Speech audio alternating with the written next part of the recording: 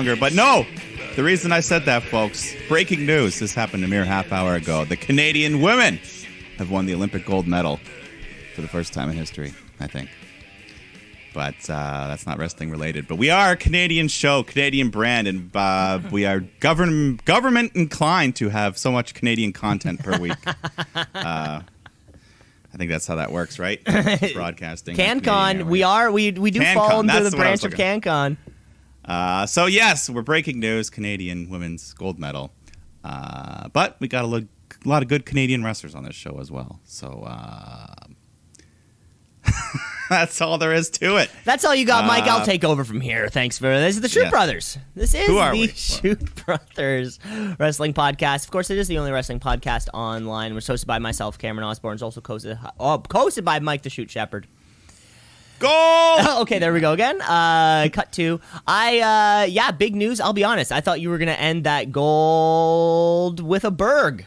Um, because as we make our way towards SummerSlam, everybody's favorite fifth everyone's I'll be honest, every single person's on the planet's favorite professional wrestler is back for his one out of two perform I mean he has to be, right? There's no other reason you would be thrown into a main event scene on uh, for the most prestigious title in the most prestigious company unless you were the most popular and most beloved performer on the entire planet. That is right. We are on our way to SummerSlam. We got a great show this week. Um, the the needles are turning towards SummerSlam. Uh, we have this. Um, AEW Homecoming show. We're kind of back at Daily's place uh, after kind of going on a road for a bit, and then we're kind of going back on the road. Maybe that'll sort of be a thing. It's whenever they can't find a place to plug a date in, there's like great Daily's place, and then uh, they kind of keep moving around the uh, you know the southeastern United States, and then boom, Daily's place again. Yeah, it's not bad having that option always kind of there in your back pocket. oh yeah, it's like it's like the luckiest. Well, I guess football season's starting up though. They might they might not. Well, well, I mean, well, thankfully, right? You know, uh, M- Sunday and Monday.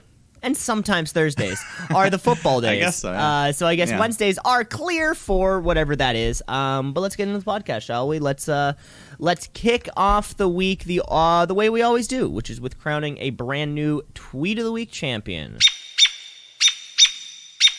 It's the tweet of the week. It's the tweet of the week. Um, a little, uh, a little kind of preface on this tweet. Of course, um, in a surprise to literal, probably a lot. I can say that people wouldn't find this surprising, but it was sometime last week. Mike and uh, you and I t- touched on it briefly. Uh, WWE released Bray Wyatt.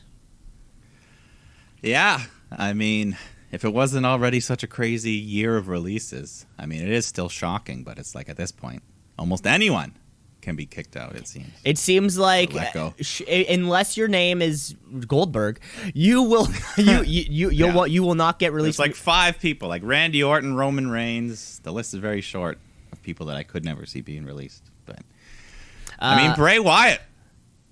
You put so much time into the character. He was pretty good at selling merch, I think. Um, I mean, and pretty good at dealing with bad storylines and managing to rebuild himself like ten different times and still getting over, and they still kick him out. So, yeah. the, I, I feel like there's been like three individualized title belts, three maybe five maximum, and Bray Wyatt had one of them. Uh, yeah, it is crazy to hear, and of course, uh, everybody. Yeah, that's all everyone was talking about. I guess this was almost. Uh, I think this may have actually happened sh- the day after we recorded our last episode.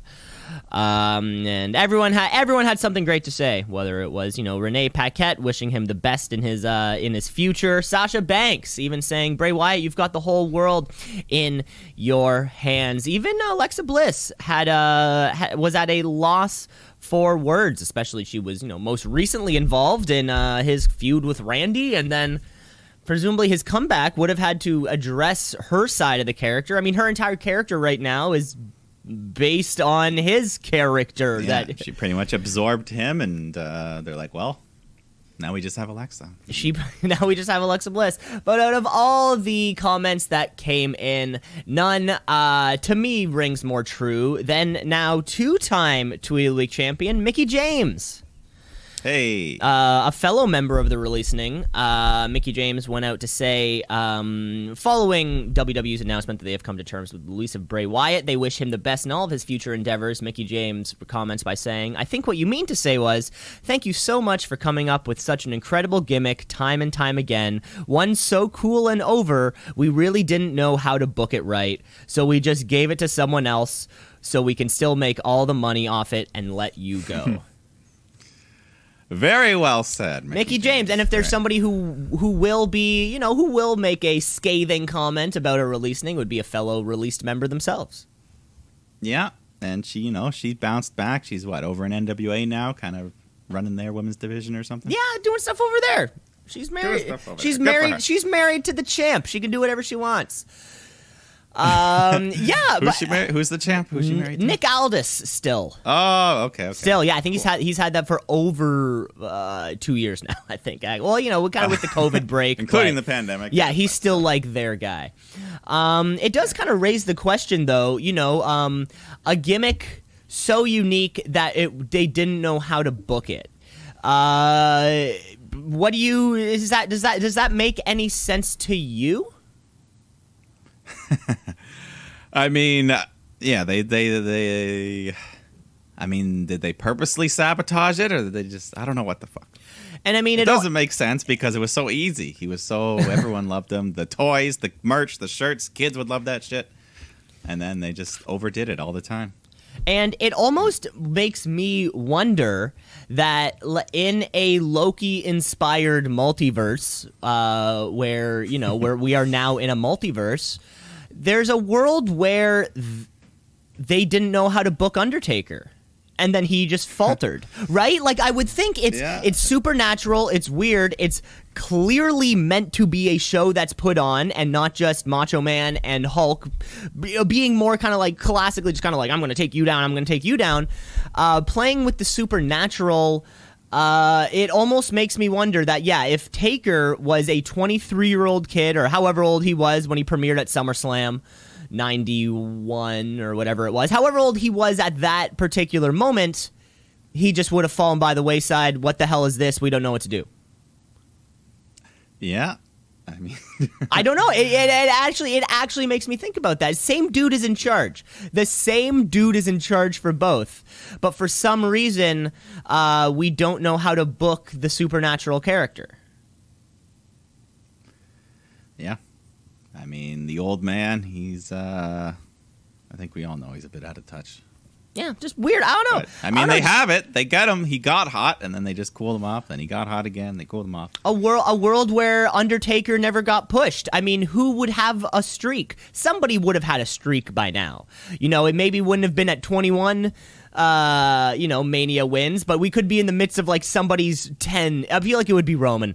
Uh, or it would be Roman or John Cena who would currently be on a undefeated uh, WrestleMania streak, and uh, we never would have gotten a Hell in a Cell match. We never would have gotten uh, all the. Uh, we never would have gotten Shawn Michaels Taker. We never would have gotten literally all of that shit.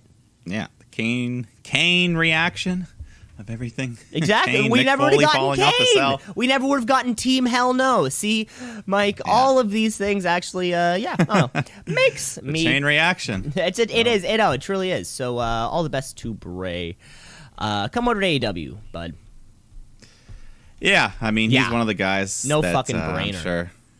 Yeah, whoever wants him or whoever. Yeah. Have him He'll lead the Dark Order. I mean, that could definitely happen. I don't know. I think if there was one person who would kind of spiritually and you know uh, for kind of I think at least people in the wrestling community to be like, okay, you're allowed to. Uh, you know, there that that is a very very short list, and I think Bray Wyatt is uh, one of those guys on that list where the fans and the community Yeah. alike would kind of be like, yeah, that's cool because you you and Brodie Lee were so close already. This is okay. Yeah, that would make sense. And uh, yeah, I also wonder, yeah, would he come in as a Bray Wyatt type character? Would he be another masked man like the Fiend? Honestly, he'd come up with something entirely different.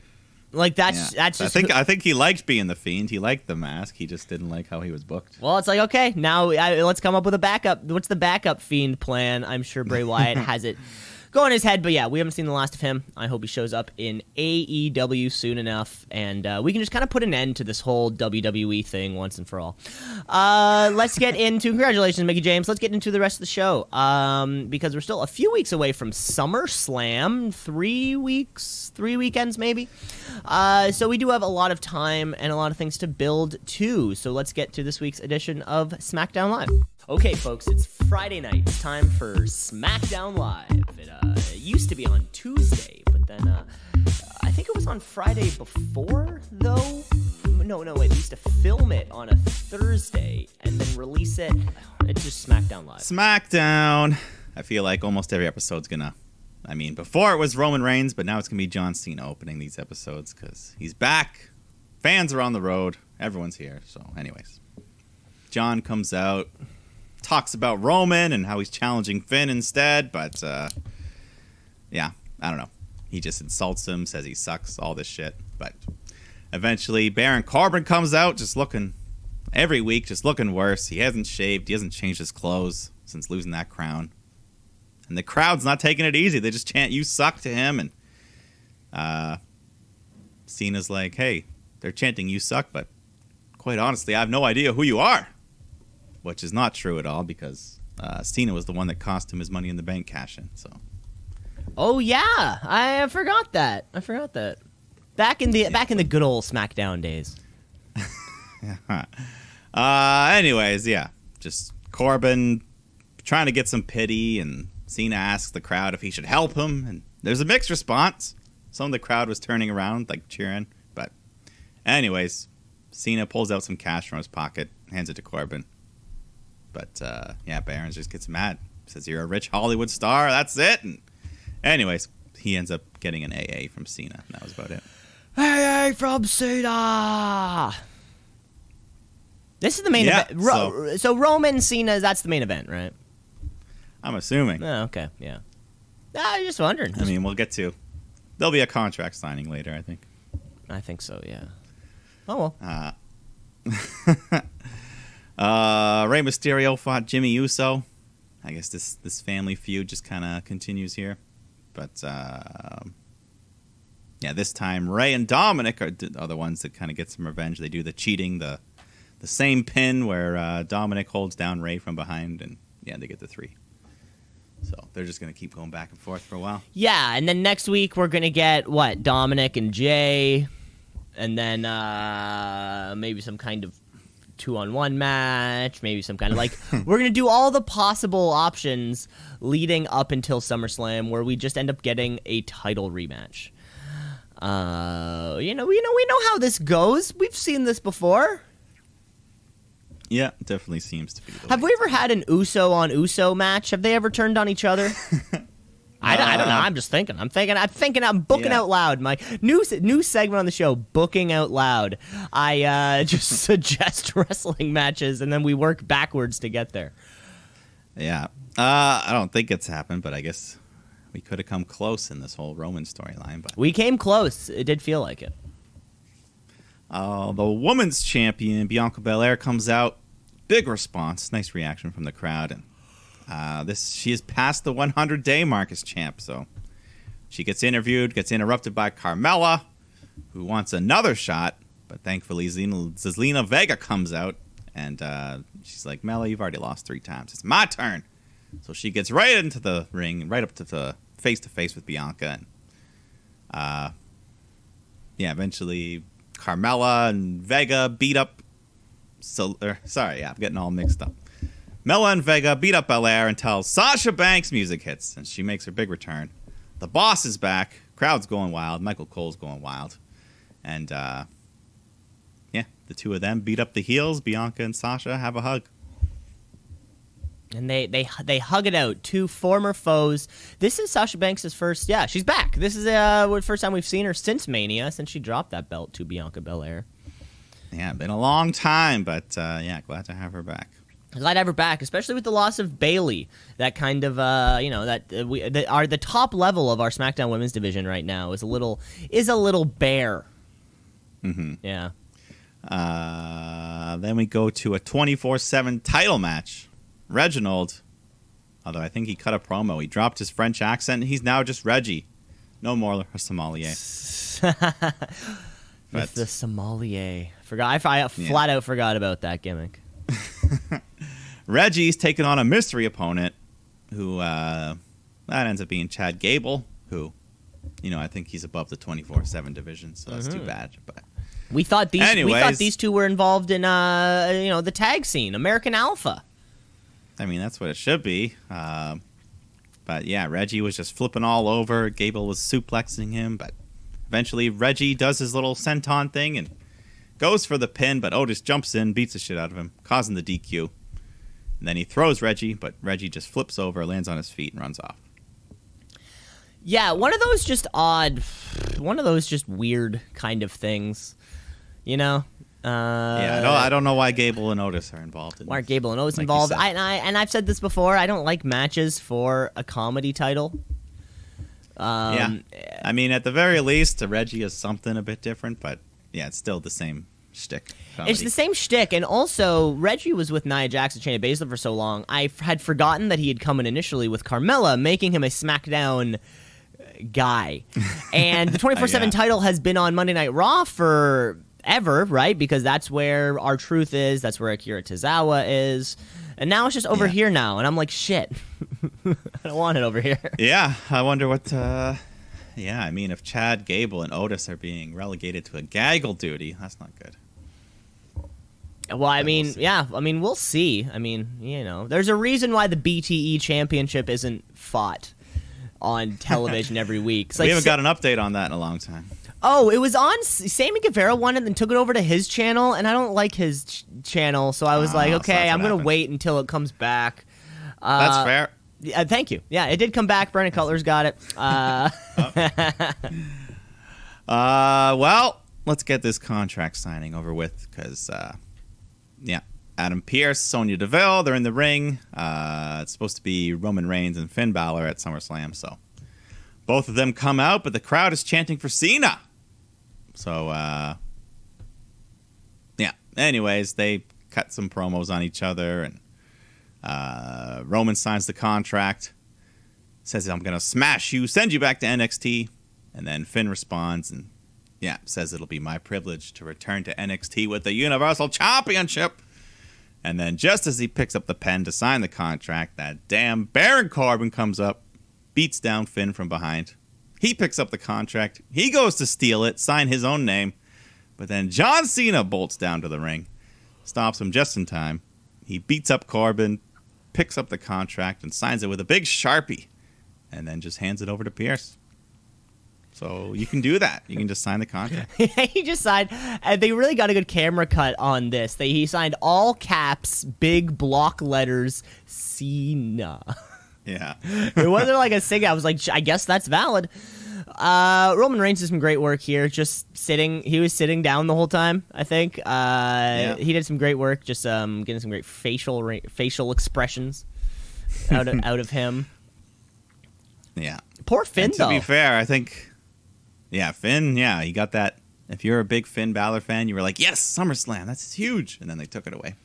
Or even But- why not just or uh, you know I mean the way he kind of came in and we thought Cena Reigns was going to be that, that always was going to be the match at SummerSlam but why not just Roman Finn before that They could have, but uh, I guess Finn's going to fight Corbin now at SummerSlam. okay Uh, but one thing uh, afterwards backstage, Paul Heyman was like, "Hey, this this can't be allowed. He just came and stole someone else's contract."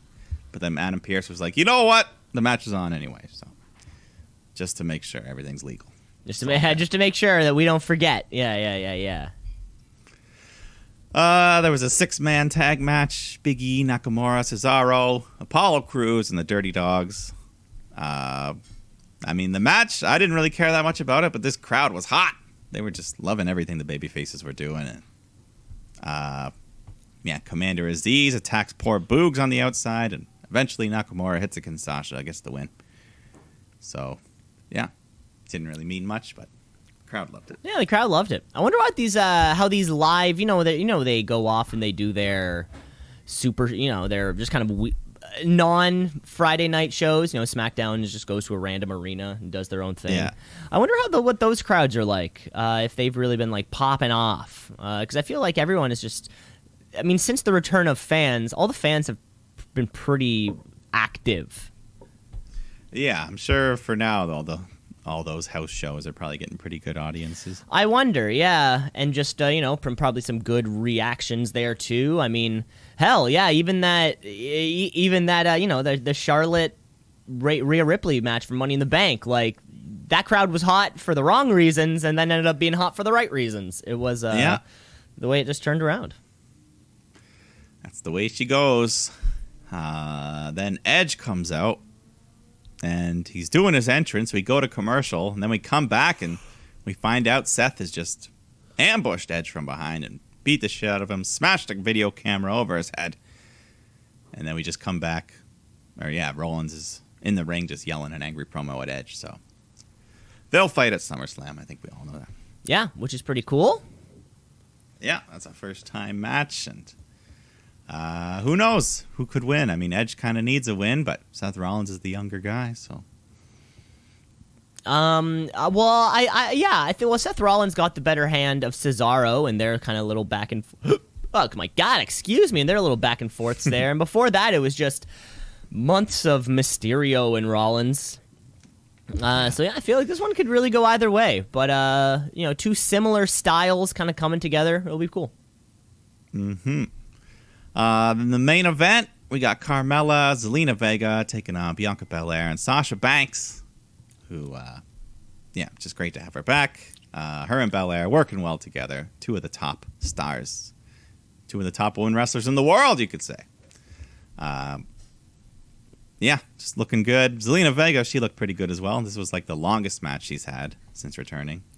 She's Oh. had like, I guess, other than the Money in the Bank match. God, well, I feel like the yeah, most she's actually. I feel like she's had like Yeah. four or five matches. I mean, she's lo- she's she's not getting any wins yet, but uh, she's doing it.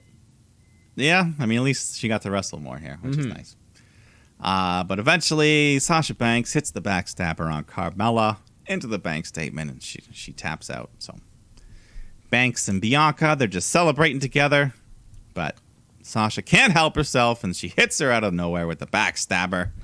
And then she picks up the title, just struts around, pounds away on Belair some more, and then she hits this cool like rebounding tornado DDT and puts her in the bank statement, and we just go off the air with Belair stuck in the clutches of the boss.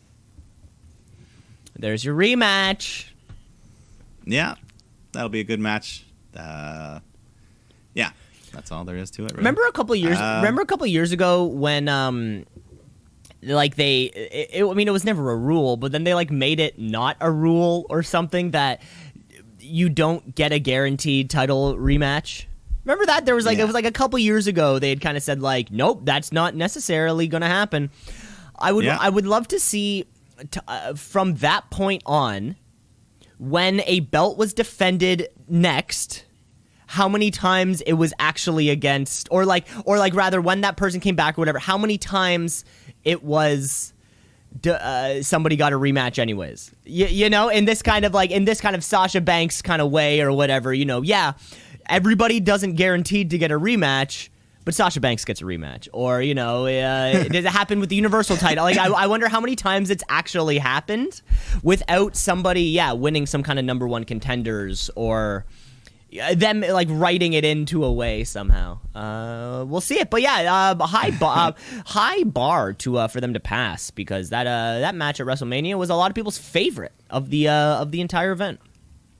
yeah, very emotional, fantastic match. So, yeah, um, we'll see. I mean, we know they can go in the ring, so uh, they just got to build the story. I mean, uh, seems like it'll be a similar. I guess Bianca's the champ this time, so reverse the roles, but uh, similar story.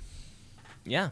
Is there uh is there a, a female performer who's due to come back or something that uh you know could could thwart uh Sasha Banks' plan? I can't I Uh, can't I think of any. Of course, there is, but at this point, it seems like that performer's not going to be back for SummerSlam, or maybe they'll show up as a surprise at SummerSlam. Who? Oh, Becky Lynch. Yeah, I guess there's always Becky Yes. Lynch, and then the thought of yeah, is she going to Raw or SmackDown? That's Yeah, That's I mean, just kind of maybe it, yeah. Sasha. If Sasha cheats to win the title or something, and then after Becky shows up and it's like, "Ha, I'm next" or something. Who knows? yeah, could be any one of those things. Could be one of those things. But that's how, actually how we close out uh, this week's edition of SmackDown. That's it, baby. That's all we got for you. That's all we got for you. Let's move over to the cards because we're at the Allstate Arena, baby. We are in Chicago, Illinois, home of the chick magnet himself. Uh, but Cookie Monster. the Cookie Monster himself. But there's no, there's no Cookie Monster here. Just the, uh, just Goldberg. the hot crowd of Chicago. Just the hot crowd, of Chicago. Uh, so that's all we got. So let's talk about Monday Night Raw. Let's get right.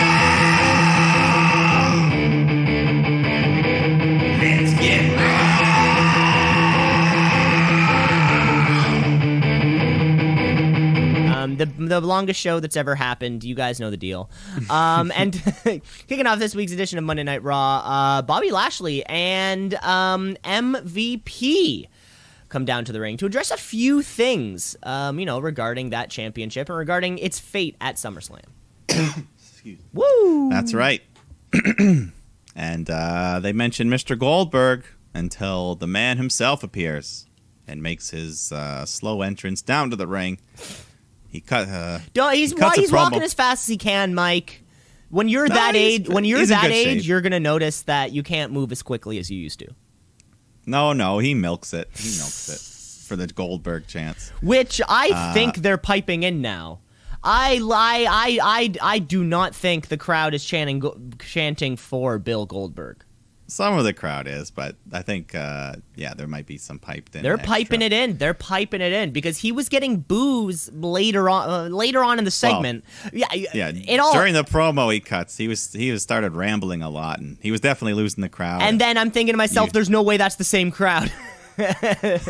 well, uh, we did get some "We Want Wyatt" chants, which hopefully those stick around for a bit. Um, and of course, CM Punk chants. And of course, night. you're always you're in Chicago. Why WWE even chooses to go to Chicago anymore? Like, I feel like they should just take that as an L. Yeah, yeah, yeah. It's one of the biggest cities in America, but like, you know what? We just can't do it anymore, guys. Let's go somewhere uh, where they love us. Let's go to where do they love Goldberg? Uh, well, anyways, after they are done with their trash talk, MVP goes over to the front row and starts talking uh, some trash to Goldberg's son, who we last saw was quite younger when he was uh, taking his shirt off, dancing with his phone. I do recall that it was probably that was probably like what three, four years ago, maybe now. Uh, 2016 probably. He Yeah. was uh, you know, you know, it's been seven years. He, you know, and yeah, he was just and if you're just a kid. if you're Bill Goldberg's son, you have two things: uh, great genes and access to steroids. So yeah, this kid is looking great. Like Vince has already signed to this kid. I bet. yeah, he's got an NXT developmental contract. Are, you- are you Uh, serious? No, I don't know. oh, okay. I was about to say you said it with so much confidence. I was like, no fucking way he did that. no, no, no, no. Trips, probably Trips wouldn't want to be anywhere near that. I don't think Trips would give. uh He's probably like, no, I don't want the Goldberg's son on my fucking Who roster. knows? Who knows? Who knows? Uh, but anyways, Goldberg doesn't like uh, MVP talking to his boy, so he just runs down and spears him on the floor. And Lashley just lets it happen. Yeah, MVP. Who's still? Does, is he still using his little uh, pimp cane? I think he cane? still I is. think so. Although he's, I think at this point it's like a gimmick. yeah, thing. he's taken multiple bumps. yeah.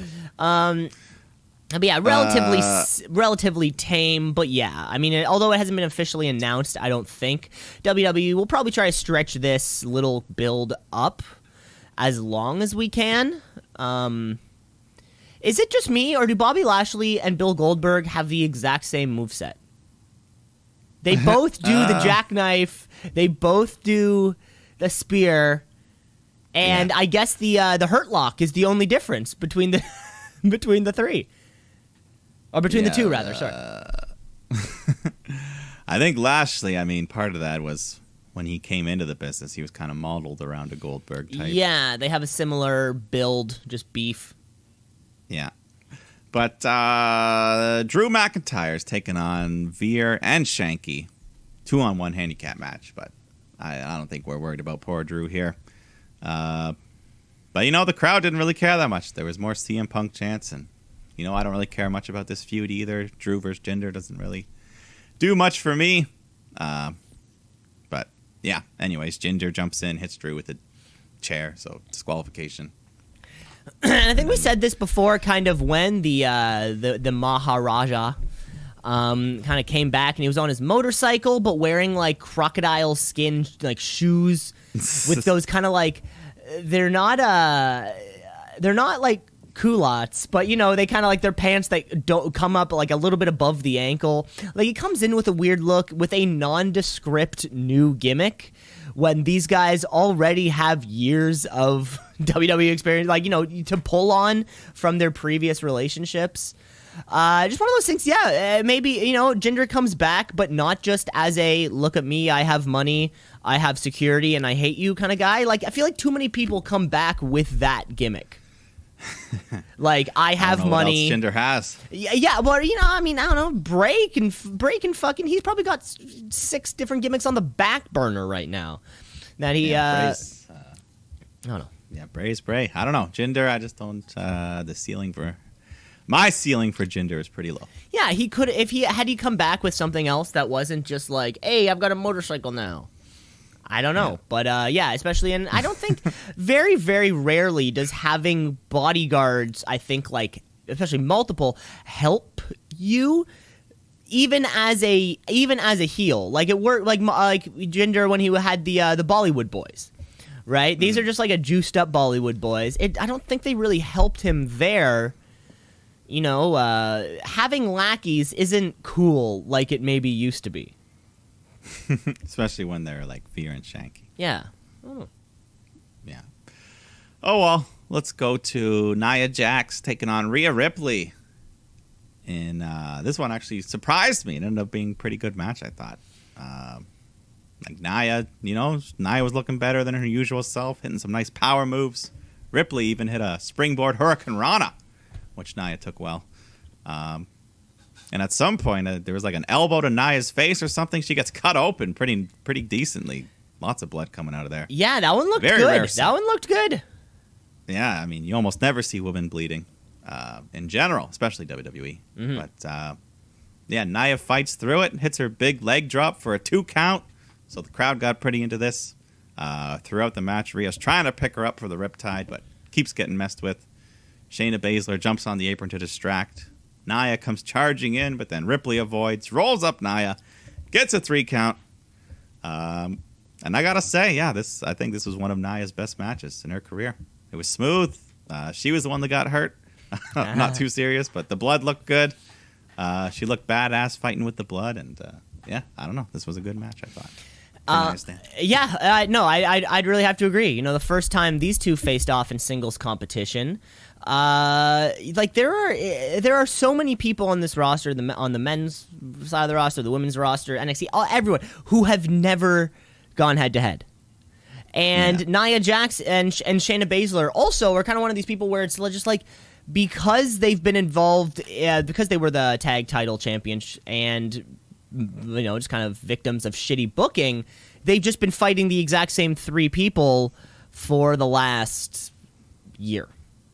Yeah, pretty much. right? And then it's like and then suddenly you see something like Jackson Rhea Ripley you're like oh shit yeah okay yeah. And uh, yeah the the um, blood by accident when you know except uh, in the Dax Harwood style that we saw last week on AEW. Um, yeah, a blood by accident is always cool. I mean, I don't think that photo of Becky Lynch standing in the crowd with a clean face would have landed half as hard as the one um, all bloodied up. So yeah, this was a fantastic match. Um, why not? Yeah. Uh, and then afterwards, there was a brief argument between Nia and Shayna. Shayna walks off. Then Nia turns around into a super kick. And then Rhea picks her up and hits the riptide. So she gets the big pop. Uh, even though she won the match, but she just wanted to show everyone she could do it. She can still do it. Remember, we're uh, we're on full Rhea Ripley babyface turn. So Yeah. uh, and have you seen those shoulders? They're like boulders. She can pick up anybody. boulder shoulders. That's the thing they say. That you is uh that is a term that people use. Is it? In the fitness community, hell yeah. There you go. There you go. Uh, then we get some tag team action. Mason T Bar taking on Mustafa Ali and Mansoor. Rematch from last week. Um, and you know what? This was like the most Dominik Dijakovic I've ever seen on the main roster. When at one point T Bar gets to hit a nice springboard elbow drop. I saw that. He's a, There was a brief moment. I'm like, Wow. that's Dijakovic. Dominik, is that Dominik Dijakovic under all that weird makeup? yeah. I thought it was. Uh, I but- thought it was members of the Ascension. Uh, Ali tags in. He hits T Bar with a nice hanging tornado DDT, spikes him hard. And then he tags in Mansoor. He wants him to get the glory, but he screws up, and T Bar nails him with a big discus, big boot to get the three count. So there's your 50 50. There's your 50-50. and just like we said about fresh matches, like the next fucking thing. No, I mean, the crowd, they loved all. I think all Ali's from Chicago. I so think so really hot too. They seemed pretty hot for him. Um, eh, and you know the Mustafa Ali, whether he's pushed or whether he's not, who I mean, god damn it, Yeah, one of the. He's very talented. yeah, very much so.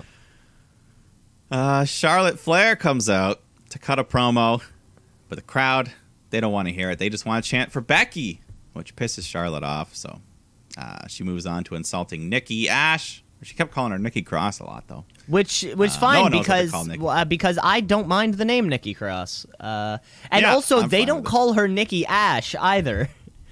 I know. They're Uh, ASH. which why not Jimmy Stewart? Come on. Yeah. It's so Uh, Nikki A S H. Five syllables. and Nikki sometimes Ash. they say the whole thing. Three. They're like, she's almost a superhero, Nikki Ash. So now you're like, Yeah, yeah, so you're Wait. saying it twice now. We get Oh. it. You we get it.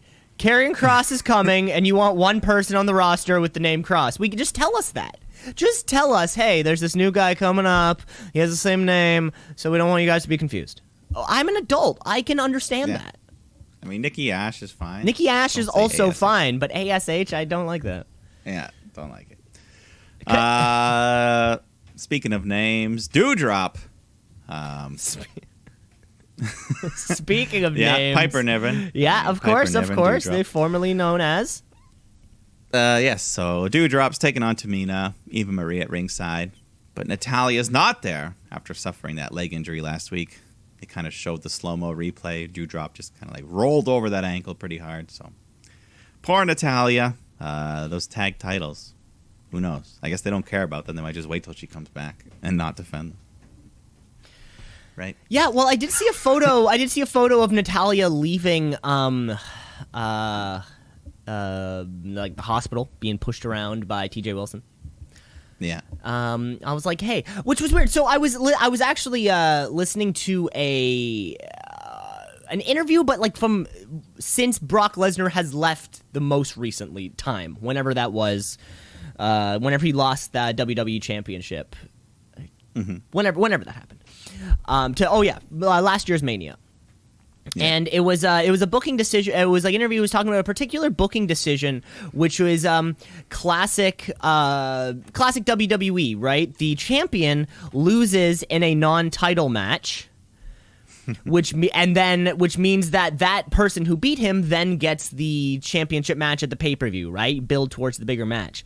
And his thing, he didn't understand that when he got to WWE because in his you know the world coming from you know uh, amateur wrestling coming from you know ultimate coming from MMA fighting he was like that's not how it works. Like if you're the champion and you lose you're no longer the champion uh, and uh, it was one of those things. It was just to hear him tell it so like almost like in this like laymanly, like in these like perfect layman's terms, and you're just like, yeah, like the, if the champion loses, they are no longer the champion. And you see similar things happen in the UFC when it comes to uh, injuries. If somebody is injured while they're the champion, then a, a- an interim champion is then crowned until you can unify the two when that person heals. You know, injuries fucking happen.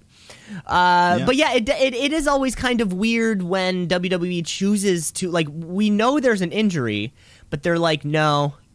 No, uh, we're just gonna keep it on you guys. I feel like that you know, instead of having some big pop once Friday night, hey, fucking tag team thing. Whoever wins it gets it. And then next thing you know, Shotzi Blackheart and uh, Tegan Knox are the champs. you know, like where's the, the excitement level there? Uh, yeah, I mean, I'm begging for some excitement in this women's tag team title scene. So, uh, yeah, I don't know what they'll do. Amen. We all are. But uh, this was Doudrop's first loss on the main, uh, or first singles loss, rather, on the main roster. And it came to the hands of Tamina, who uh, still looks, yeah, she's fine. She's fine, Yeah. but um, She, yeah, she's, going to have a uh, lot to carry if she's having to carry forward this women's tag division by herself until Natalya is able to heal. Like, that's a huge ask, I think, of any performer. Well, yeah, especially Tamina. Um, And Yeah, remember, I don't know. Remember, uh, two manias ago, I think one of the Usos was hurt, so we had the. It was like a triple threat ladder match, but for the tag championships. yeah. Remember that? I thought that was a. re- I thought that was really was okay. cool. Yeah, like yeah, the match was fun. because then you know Um, the the teams themselves get to have the you know we can build the who are you sending to that match? Is it is Shotzi and Tegan have to kind of have that conversation of who's going to send who, and then uh, these sorts of things. Yeah, no, no. Yeah. Oh well. Um. Yeah. So Tamina beats Doudrop, and then afterwards, Alexa and Lily pop up to mock them on the screen. Yes, uh, to Mox Mox uh, Eva Eva Marie on the Titantron. Yeah. Yeah. We'll see them. Uh, Miz and Morrison are in the ring for Miz TV, and their special guest is long-standing rival Damian Priest. So they kind of just jaw back and forth. Crowd chants CM Punk. They all start fighting. uh, leads us to John Morrison taking on Damian Priest. Um, but yeah, you know, I mean, I like Priest, but the crowd didn't really react too much for Priest here. I think John Morrison is more over than him at this point. Maybe uh, maybe Damian Priest is from a place where uh, where the Chicago fans don't like.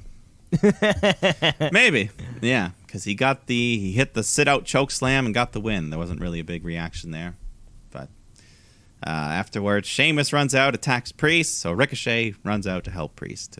Yeah, I guess they're all kind of in the mix for that U.S. title now. Yeah, they're all kind of around it. Um, but then do we get that's a match? Do we get that match right now, or is Oh, it yeah. having a bit later? yeah, that's right. Yeah, Yeah. Priest and Ricochet versus Morrison and Sheamus. Uh, yeah, Ricochet does most of the work, just high flying around. Uh, at one point, they used the drip sticks on the floor to create like a slip and slide. Mm-hmm. They just slide Ricochet right into the steel steps. Uh, but then back in the ring, Priest takes over, hits the reckoning on Morrison, gets the win. So two wins in a row for Priest, and two pins in a row for Morrison. Yeah. Yeah, yeah, yeah. Um, I mean, great to see Damian Priest kind of back from injury or wherever he was coming back. Those zombies must have been a bit much for him. Um, as far as far as Miz TV segments go, this one was probably as boring as it gets. Uh, nothing new was said. The crowd didn't seem to care. Uh, Meaningless.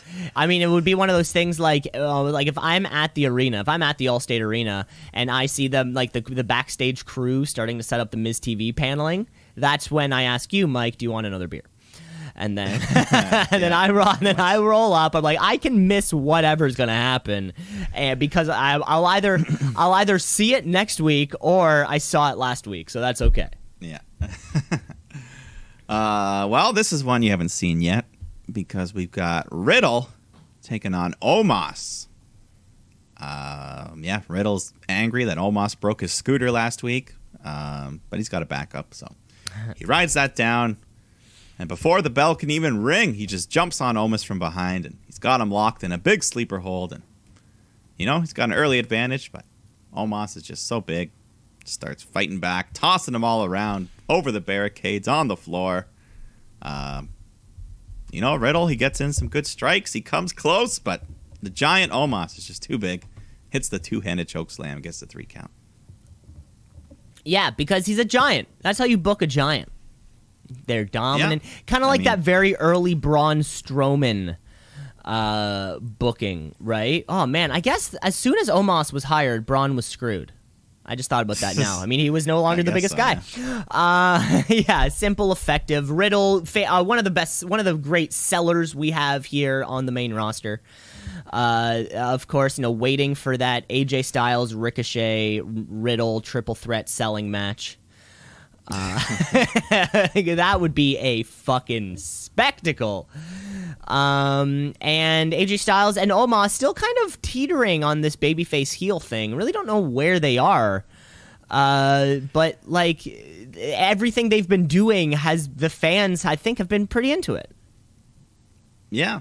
And I mean, we're still waiting on this big Randy Orton return to come save. Do we know? we- And we know nothing about this, right? I don't. Yeah, I don't know what his absence really is. Is it injury? Injury, personal. COVID, personal. Like I have Yeah. no idea. Don't know. I mean, but yeah, SummerSlam's getting close. You think he'll have to get if they're going to book that as the tag title match? Uh, we need you soon, Randy. Rand, the Rand man, come back, come back home. Maybe he's go. Maybe he's going to AEW. Maybe he's maybe he's coming all out. Uh, well, we go to Alexa's playground, your favorite place. Her and Lily hanging out. When they get ambushed by Doudrop and Eva, they just beat the crap out of Alexa. And then Eva sits down and insults Lily to her face and then just walks off. But after that, the Lily doll rises up on her own to this dramatic music. And she laughs. And I laugh, but for the wrong reason. yeah, that looked pretty cheesy, that whole doll just and and and and Mike, I mean, we I think we were kind of saying it as soon as we started, as soon as the the inkling of coming back to live crowds came into our mind, we're like, this is not, this might not work, this might not work, and uh, this I think this was ex- one of those exact moments of this isn't working, this isn't working. Yeah, I don't know what the. I mean, I thought that at some point Lily's going to appear in physical form, whether that's Alexa Bliss or is that a partner. But if it's just going to be this doll, I mean, what's the end game? Is it Bray Wyatt? Uh, maybe maybe they're trying to go for a Chucky type situation, or maybe they're panicking because Bray had like an outline in mind, and now they released him, and now they're like, "Fuck, we forgot that he had the ending to the story."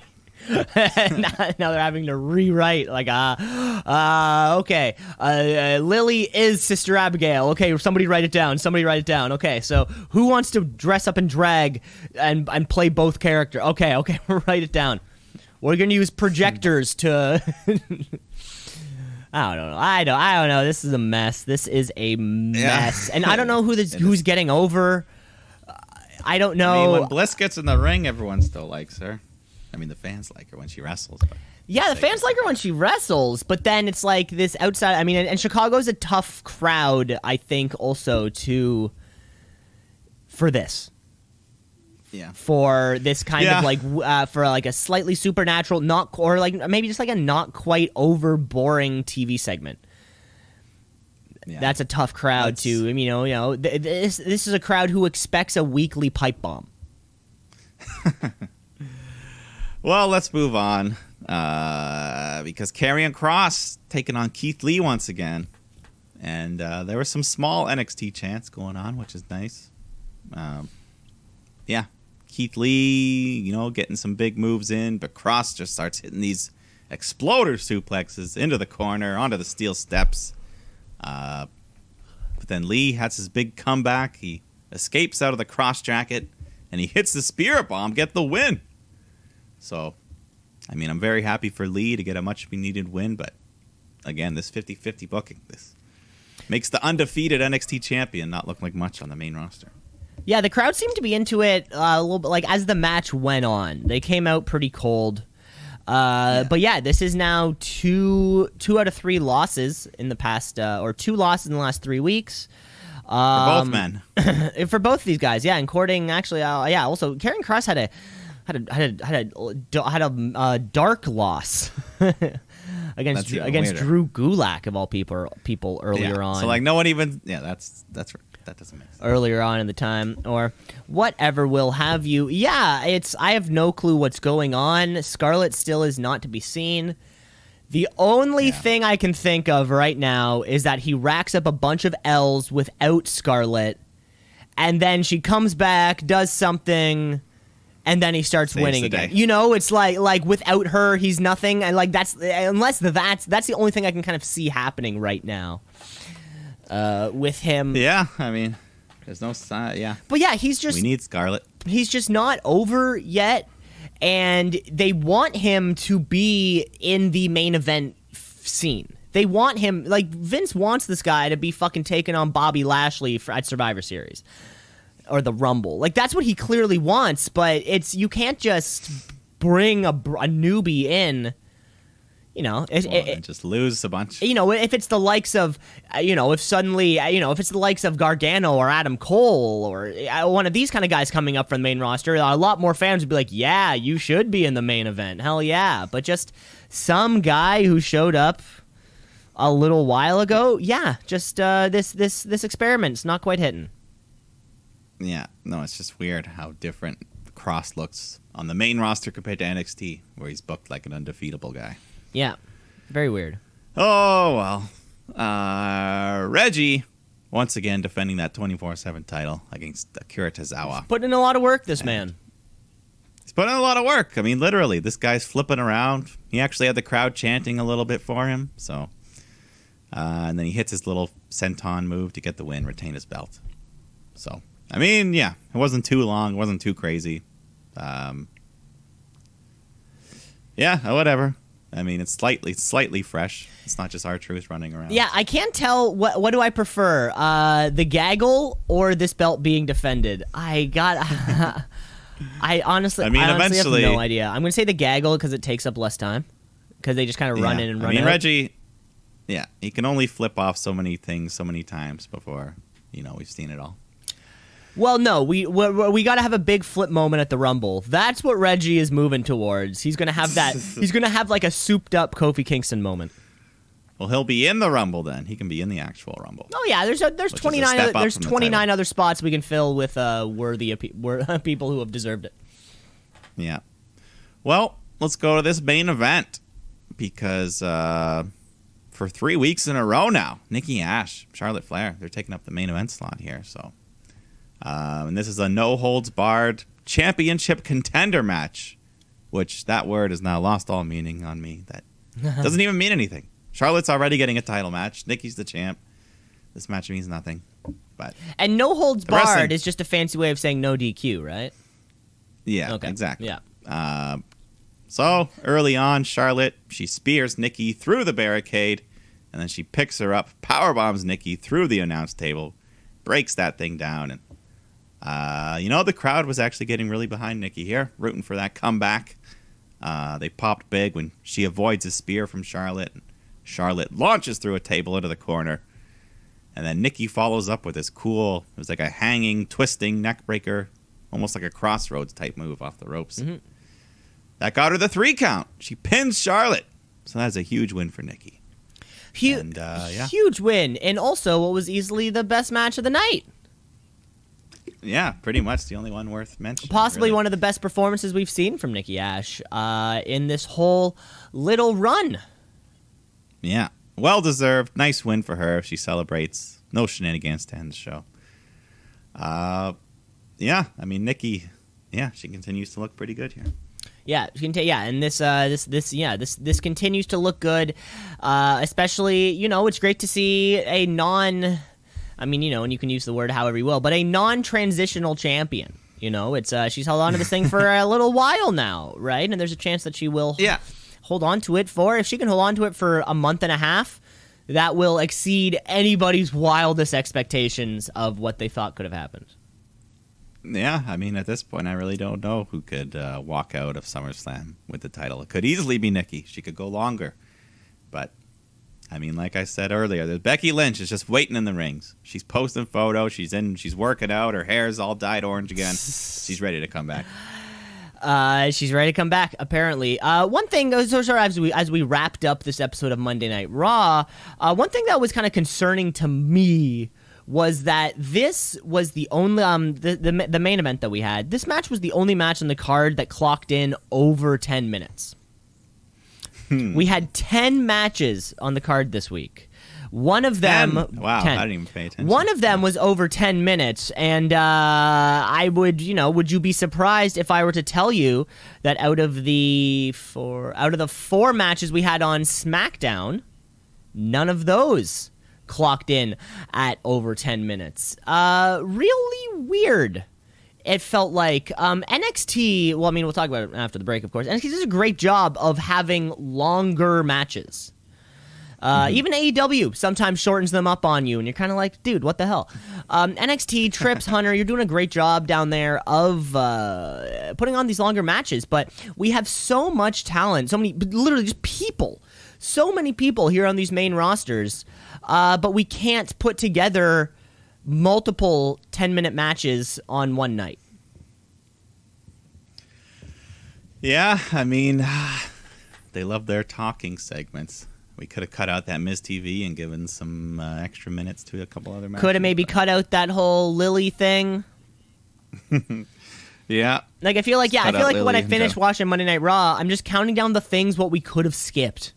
And I'm like, hey, that wasn't necessary to even even like you know kind of long term booking or whatever. You look at something, you're like, eh, eh, eh.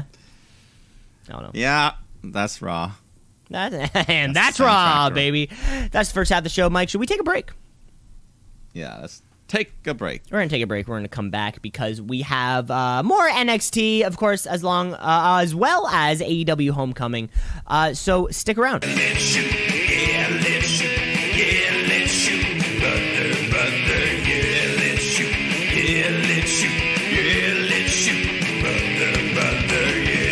You know when you see um like uh you have a uh, a comedian or an actor or like some kind of thing that you think they are funny and you think the things that they do are funny and then they'll post a new video or whatever of the thing that you think is funny and you know it's funny but you also know that there's no one you you you don't think there's anyone you can show it to because there's no way they'll also think it's funny does that ever happen to you Uh, yeah. very much so. I- I- Yeah. very much kind of like a sh- showing a Tim and Eric. Oh, you know, you can kind of equate it like showing a Tim and Eric bit to somebody, and they just you know blank face like what what is funny about this and. uh Yeah, and I Yeah, just no, I- I'd yeah. There's a guy who I think is really funny, and there's a little video that like you know, kind of like a, a video po- do it of him doing his funny things, and I've watched it eight, nine, ten, twelve times now this morning, and uh, I'm like, there's nobody I can show this to. Like, I don't think there's anybody else who will think this is funny.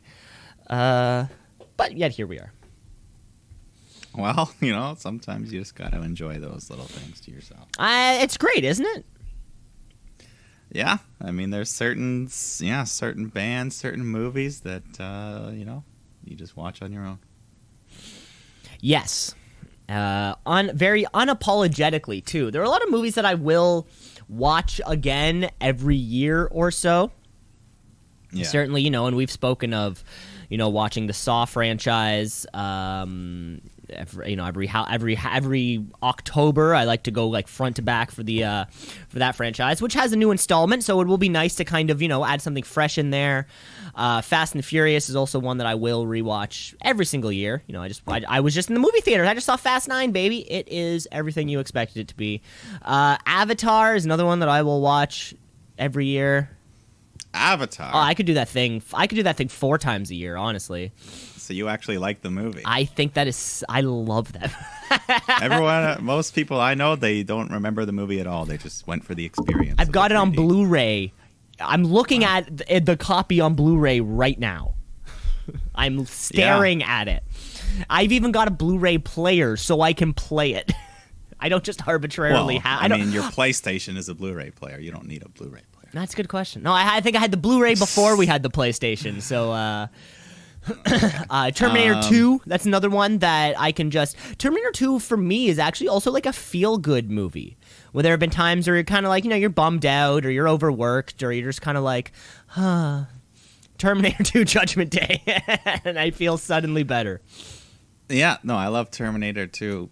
Avatar, I just find like for as successful as it was, it's almost not even mentioned in pop culture much at all. It's gone. Yeah, it real it really is. Yeah, everyone seems to have You forgotten know, about. like people still like the Nightmare Before Christmas. I see merch for that, and that wasn't nearly the success. Yeah, a film know. that I a film that I've seen once, and I only really remember the characters are named Jack and Sally because Mark Hoppus has a lyric in "I Yeah. Miss You." That's really the only reason why I like remember what's going on. Yeah, no, that's the way it is. That's just the way it is. I mean, for a while, Titanic went away. People turned on it for a bit, but now I think it's coming back. Yeah. I think Titanic's a great. movie. Titanic's coming back, baby. Yeah, I mean, it was the record holder before Avatar. Everyone, Man. everyone, get your two VHS cassettes because we're watching Avatar front to back. Or sorry, we're watching Titanic front to back. Let's get into the second half of the wrestling week. Yes, let's. And I mean, it's not just it's not just an it's not just a podcast dedicated to the works of James Cameron. Although we did just mention three of them. Avatar two is hitting theaters in 2022. Uh, it? yeah, and three is currently filming, or like they're in th- yeah they're currently filming almost in post. And then four and five is coming out. I think 2024 Oh, 2025. That's. Oh yeah, he's ex- he's expanded. Uh, he's expanded Pandora and the whole Na'vi. I, well, we'll we'll talk about we'll talk about that more when the time comes, Mike. But for now, we need to get to our second half of our wrestling week because um, Takeover 36 is coming up. One thing I like about takeovers are that they every so often tell us what number it is, so we kind of remember. Uh, they, it's not like Mania where it's like Mania seven, Mania ten. They'll tell us like they'll give us Takeover thirty, and then we haven't. This is the first numbered Takeover since thirty, and then the ones in the middle just kind of fill them in. Uh, but I think they went. I think it went 30, 31, and then a gap. oh, 31, you are right. Yeah, Which yeah, even yeah. weirder. It's even weirder. Even more bizarre. It's like they wanted to do it and because we're like, okay, they're switching the numbers. Like, oh no, we're back to uh, in your house. But if we are talking takeovers, we can only be talking about one brand, and that is, of course, NXT, which stands for Nobody knows. nobody really knows. Uh, I can't I mean, think. it might not stand for anything. I can't think things- of another promotion that arbitrarily has letters that don't actually stand for anything. like Um, even CMLL, I don't know what it stands for, but it probably stands for Central Mexico Luchador. Yeah. Like I can kind of like infer PWG, ROH. I feel like there's got to be a company that is just a couple letters, and the letters. Are It's just like. ZLFT. like ABC. I don't know. Uh, but of course, we are here on the black and gold brand. That skull and wings logo looking very horrifying, kind of like that episode of The Simpsons when they think they uncover like a, an angel, but it turns out to be a promotional package for a uh, a mall. yeah. we can all Great episode. we can all remember that episode. Um, but let's get into it. Um, let's get into this week's edition of NXT.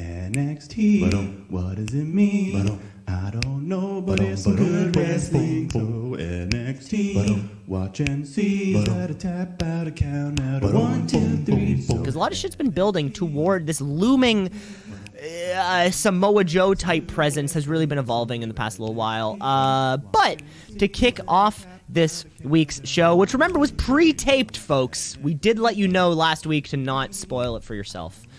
Um, because it was on sci-fi again due to the Olympic coverage taken over on USA. Coming down to the ring to kick off the bat, we do get a uh, a tag bout. We do have members of Hit Row, Ashante the Adonis and Top Dollar, taking on members of Legado del Fantasma. Of course, we're talking about uh, Joaquin Wilde and Raul Mendoza.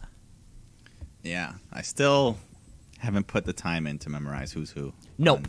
Legado. Very much so Like- not. And um, in, in A lot easier on hit row. Top so much easier on hit row because they have different body types. Like these are just kind of Yeah. like, I mean, you know, at least give me at least shave one of their hair or you know put a shirt, Something. give someone shorts. I don't know. I don't Yeah.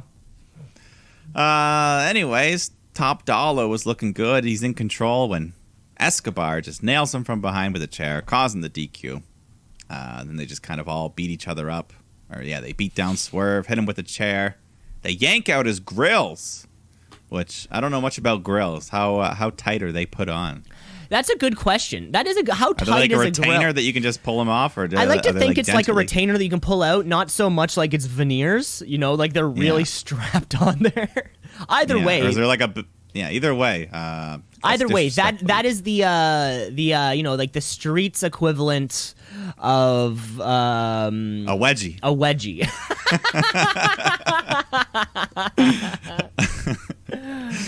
So they pull out his grills, they wrap a chair around his head. Uh, but thankfully, the rest of Hit Row, they pull Swerve to safety. And then B Fab jumps in, nails Joaquin with a chair. I think it was Joaquin. I just took a guess. Yep. Uh, Good guess. and then, and then the Hit Row, yeah, they just beat up Legado. So this kind of uh, gang rivalry continues. Yeah, uh, one thing I do like about this is, um, you know, it's it, it's building like the rest of uh, the rest of Hit Row, like it's building their defense of Isaiah Swerve Scott. like Yeah. um you know seeing seeing uh seeing the grills ripped out of his mouth and then they come together affect you know uh you know it's they don't want to see their leader hurt you know the feud is Yeah. only heating up and we got to give it up for top dollar top dollar um w- uh this past week on NXT performed in his fourth ever wrestling match Ever in ever any company? in any Wow. company. Um, both members, both members of the hit row here, both uh, Ashante the Adonis and Top Dollar, have never worked for anybody outside of NXT. Ashante the Adonis has ha- we've seen him around a little bit more, you know, maybe for about a Little year and a half now. Small bits Yeah. here and there, mostly getting losses. But Top Dollar, this was his fourth match ever, and uh, very, very impressive. I very not know that at impressive. Yeah, you got to say some of these guys, whatever they're doing down there at the PC, god damn it. Yeah, I mean, he's got the confidence. Top dollar, he walks out there like he fits in. So give him credit. Amen. Yeah. Then, uh, well, we've got the Ridge Holland. He's back and he's taking on Ikemen Jiro, who I think's already been eliminated from the breakout tournament.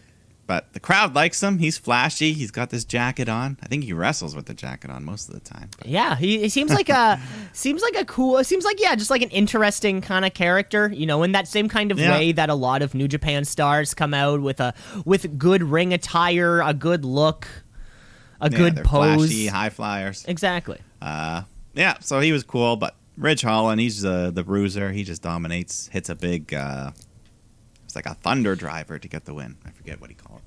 And uh, this was yeah, Ridge Holland's first action since probably fall of last year when he suffered that uh, uh That nasty leg. gruesome and well, apparently not that gru- uh, so gruesome that it kept a note, but not so gruesome that he had to retire.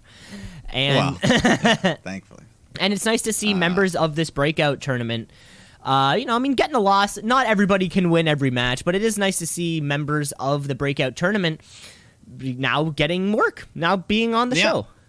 Yeah, work your way up. I mean, Ikemen Jiro, he's now a face that I'll recognize from week to week, and Yeah. I'm sure he'll start getting a couple wins here and there. Agreed. But some guys we definitely recognize. They dominated the brand for years. Uh, we got Bobby Fish taking on Roderick Strong.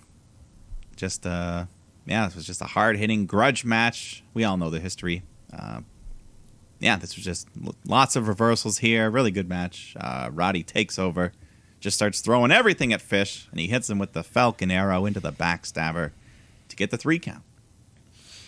But yeah, I enjoyed this. It was good, solid. Uh, lacked any kind of heat. I felt uh, the wrestling, uh, you know, the kind of the, the small-ish crowd there at the Capitol Wrestling. Yeah, the Center. crowd. I mean, yeah, I feel like Bobby Fish. I mean, we all we like the guy, but he has the least. Like, we don't really know much about him. He just has a little fish bone on his trunks. his Fish. Yeah, he That's was the it. he was the F in the CFO dollar sign. Uh, um, yes, uh, Rod, Roddy Roddy's going to get the win as the leader of this diamond mine. It would be it would be a bad idea to. I mean, especially after I think he lost last week in a tag match. So uh, we got to kind of build this boy back up. Yeah. Um, at some point, we get a video of Kushida who challenges Roderick Strong to. Uh, yeah, he'll defend his cruiserweight title against him. So I think that happens next week. Yeah, that's great news. So- Great news to have a. Yeah, just fucking book a match on a TV. Like it doesn't. We don't have. We don't have to have every single match on a pay per view. Yeah. Excuse me. You're excused. Um, L.A. Knight teaming up with Butler, Cameron Grimes, taking on the Grizzled Young Vets. And Knight forces Grimes to wrestle in that Butler uniform. So, but we know Grimes. He's he's more than skilled enough to be able to pull this off just fine, hitting all his regular moves. Uh, but Knight just leaves him hanging when he goes to tag out. But this just fires Grimy up, and he just goes on a roll for a bit, fighting two on one. Hits a nice double hurricanrana. He's looking for that cave in, but then the numbers just become too much. Uh, Grizzled Young Vets take over, hit the ticket to Mayhem, get the win. and then I think afterwards, Ted DiBiase comes out just to kind of help Grimes. But come on, kid. Yeah. Come on, kid. Yeah. You got to get back on the horse. helps yeah, hel- helps him out there to the back or out so- sorry helps him you know to the backstage area Yeah. uh yeah um out of all the NXT stories going on right now um this is a the crowd is invested in this one. the crowd is really invested in this one.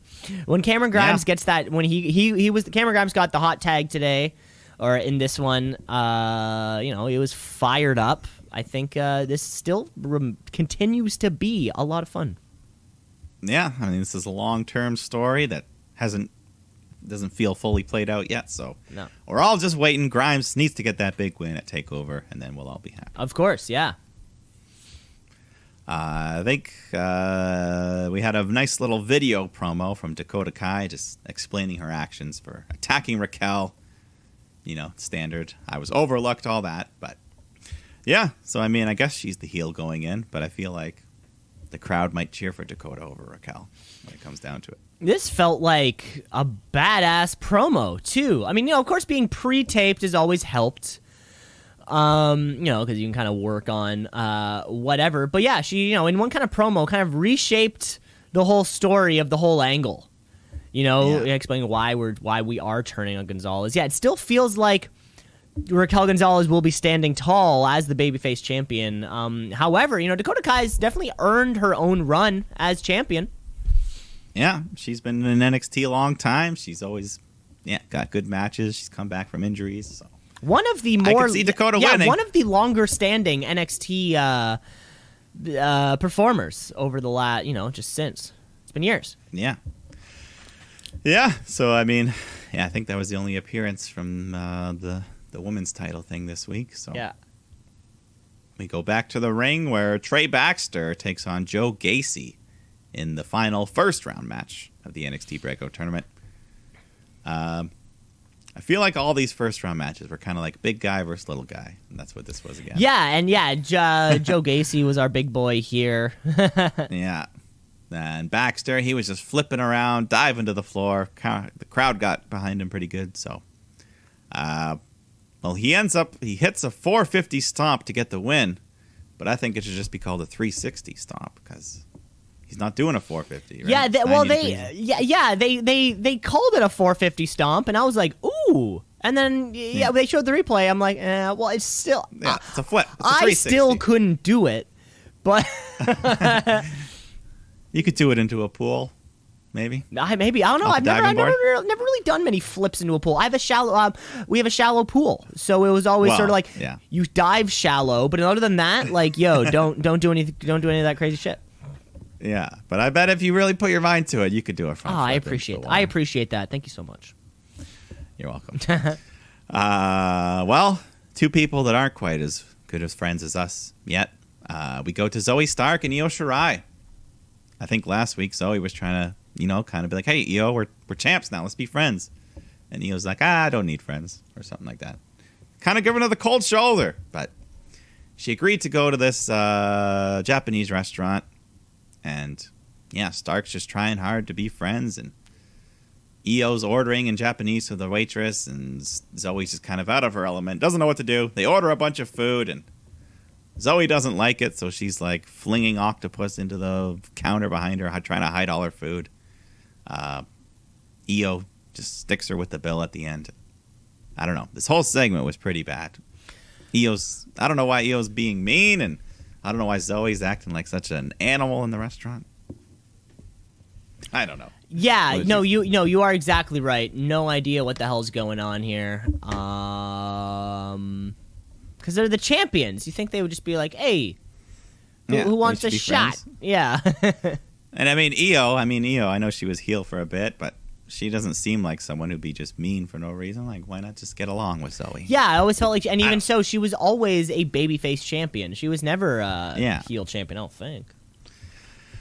Yeah. So it was weird. I didn't really think this segment did much, but I don't know. I feel like they're gonna keep doing this. They're gonna do the odd couple, and hey, now let's go get pizza. And oh, Io's gonna be weird, or I don't know.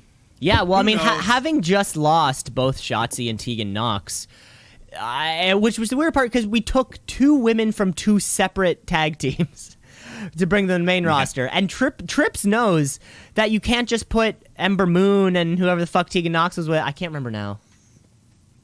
Yeah, it's been so long. You can't just take their other me- their other team members and put them together and have it make sense. He knows that doesn't. That's not how that works. Uh, so yeah, who knows? Who knows? Uh, I think at this point, Karrion Cross just jumps over the barricade because I think all night Samoa Joe was waiting for him. But Cross jumps up, stands on the announce table, just cuts a promo on Samoa Joe. So Joe comes running out, but then the security guards hold him back. So he just beats the shit out of all of them and uh, works up a good sweat here. But I think that's the most physicality we've seen from Joe in a while, getting to beat up all those guards. Yeah, since he would have been out. Um, would have been Outlast. I mean, Yeah. this is this will be possibly a main event down there at Takeover 36.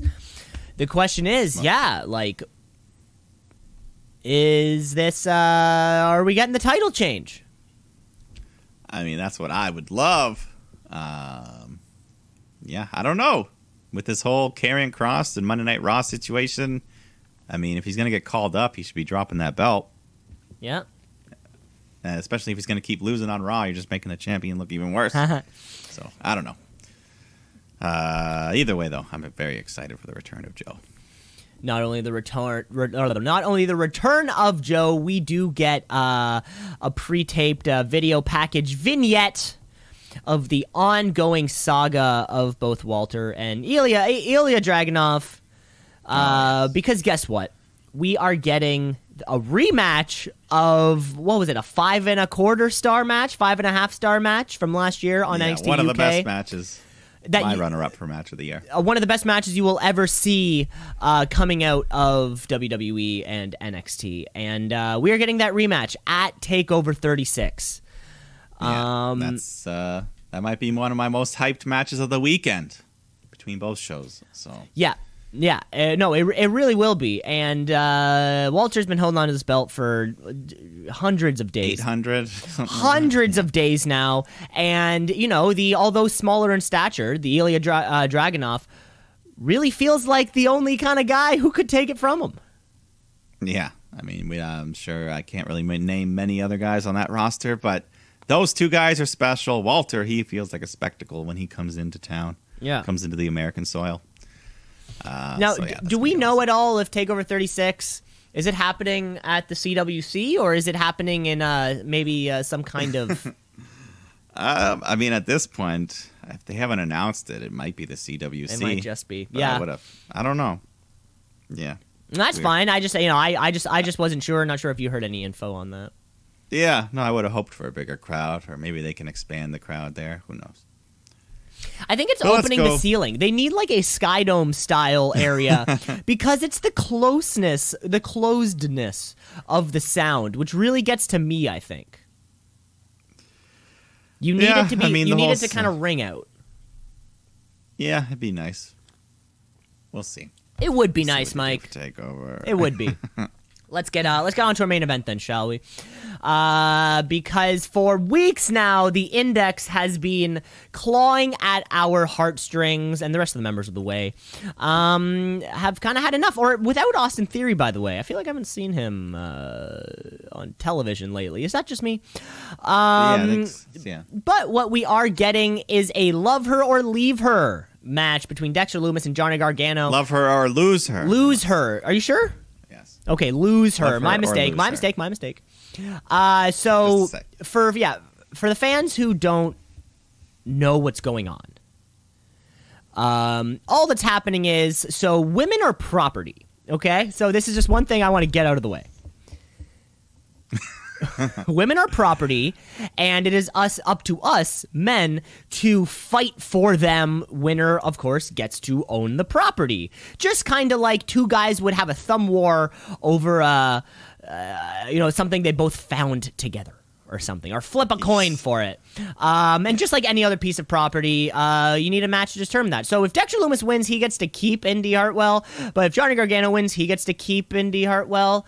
Um, there you go. That's all the background information you need. There's a matchup that happens between these two guys, uh, Dexter Lumis and Johnny Gargano. Yes, you'll see this stip come into play. But uh, early on, Indi, you know, this too much is on the line, so she comes out to watch from ringside. The crowd was chanting for Index. They want to see a good love story, get a happy ending here. Uh, but Candice LeRae doesn't, so she comes out. She's trying to pry Indi away, and Johnny and Dexter are just having a nice, hard fought match in the ring, back and forth. Uh, Johnny gets him in the Gargano escape. Dexter makes it over to the ropes, but then he just kind of caresses Hartwell's face while he's grabbing the rope there. And Johnny yells at Indi. Dexter rolls up Johnny, but then he gets kicked into Indi, knocks her to the floor. As the race car comes roaring by. so Indi is knocked to the floor accidentally by Dexter. So Lumis is very concerned, goes to check on her. Uh, but this allows Johnny to hit a suicide dive into a DDT onto the floor. And then he follows up with one final beat to get the win and prevent this love story from unfolding. Um, but, you know, like you laid out, I mean, can you really? You can't just control a person's life like that. You can't just ban love and control a family. This is not not in the free world we live in. Um, so as the way go to leave, Indi's looking back all sad, but then she turns around, runs into the ring, jumps onto Dexter, and they just start rolling around, making out ravishly. Uh, but we get our happy ending after all. I guess we get our happy ending. Indi Indi Hartwell's out of the way. Um, Is she out of the way, or is I don't know, possibly. you know, or is Dexter just that gritty boyfriend she brings home that parents don't like? maybe more of that. The tortured artist. yeah, Um, he's got tattoos and he's and a mustache. They, mustache. yeah, he you know doesn't talk much. so we haven't seen uh we haven't seen a love angle since the payoff we did not get between Mandy Rose and Otis. Um, that was I think that was the last time we saw a you know a, a, the couple kind of angle. Yeah, a prolonged, a prolonged. Uh, yeah, You know, uh, which you know you Ross see, yeah you see it you see it every so often. Um, yeah, the fact that the two uh, my two favorite stories on NXT right now are Index and LA Knight and Cameron Grimes, like the two comedy angles, might not be a good uh, telling of kind of what's happening here on the NXT on the rest of the roster rather. Uh, Adam Cole, Kyle Yeah. O'Reilly, nowhere to be seen. Uh, we still aren't that hot on Karrion Cross, although we do want Samoa Joe to win that title. There's some some great work going on between, uh, I guess, ta- um, Hit Row and Legado del Fantasma. but I think right now my two favorite angles are the comedy angles. yeah. I mean this, uh, this. I mean before this, Indi Hartwell. I mean we we liked her, but this is giving her a lot. I mean people who didn't know her, they'll know her now. You know Indi her now, at least, yeah. Um, and yeah, speaking of Adam Cole, I'm sure you've heard all the hot rumors and stories going on about him. I haven't. No, His tell me what's up. contract. Contract. You Uh, oh, you- no, he didn't get released. I would have. I would have heard if he got released. No, no, he hasn't got released, but apparently his contract ran out at the Great American Bash, and people didn't realize. Oh shit! So they basically got like a quick agreement. So he's extended till Takeover, but after that, he's pretty much a free agent. A Dub. So, uh, Go A Dub. Well, I mean, yeah, there's. I mean, I'm sure Triple H is going to come in with a heavy offer to try and keep him, but yeah, hot rumors are swirling. I don't think Triple H gets that kind of money on NXT, and I don't think they'll get like. Well, I mean, um, I think Adam Cole's his golden boy that he would not want to lose no matter well, what. and you hear about Adam Cole like. You hear that tr- uh, Triple H and, and Shawn Michaels are literally his like childhood heroes, and, Yeah. he gets to I uh, yeah. he gets to w- learn and work with, you know, or work and learn from uh, his two childhood heroes. But Mike, I I, I'm processing processing this news fresh. You just told me this information. You need to read. Uh, I guess you haven't been reading any dirt. I, I've, been. I've been I've, I've been too busy. I've been working a lot. no, that's good. Hey, some keep your nose out of the dirt. Keep my nose out of the dirt. Exactly, Mike. But wow, my first. Oh, wow, shit. Adam Cole needs to go to not WWE because that's where he can make the money that I think he obviously deserves. I don't think NXT. no- I don't think NXT stars get paid as well as even the, as well as main roster performers. Right? I don't. Yeah, I. on it, but there's no reason that Triple H can't just write a check. I don't know. I, I mean, who knows, right? I mean, I'm sure he's got a budget, but he'd be like, "Hey, Vince, this guy's of course, right? But is whatever budget he have more than AEW slash New Japan slash uh, could offer? I mean, this is a former member of the Bullet Club who could show up at a Wrestle Kingdom and blow the fucking house down. Just could. like he could show up at an All Out and blow the fucking house down.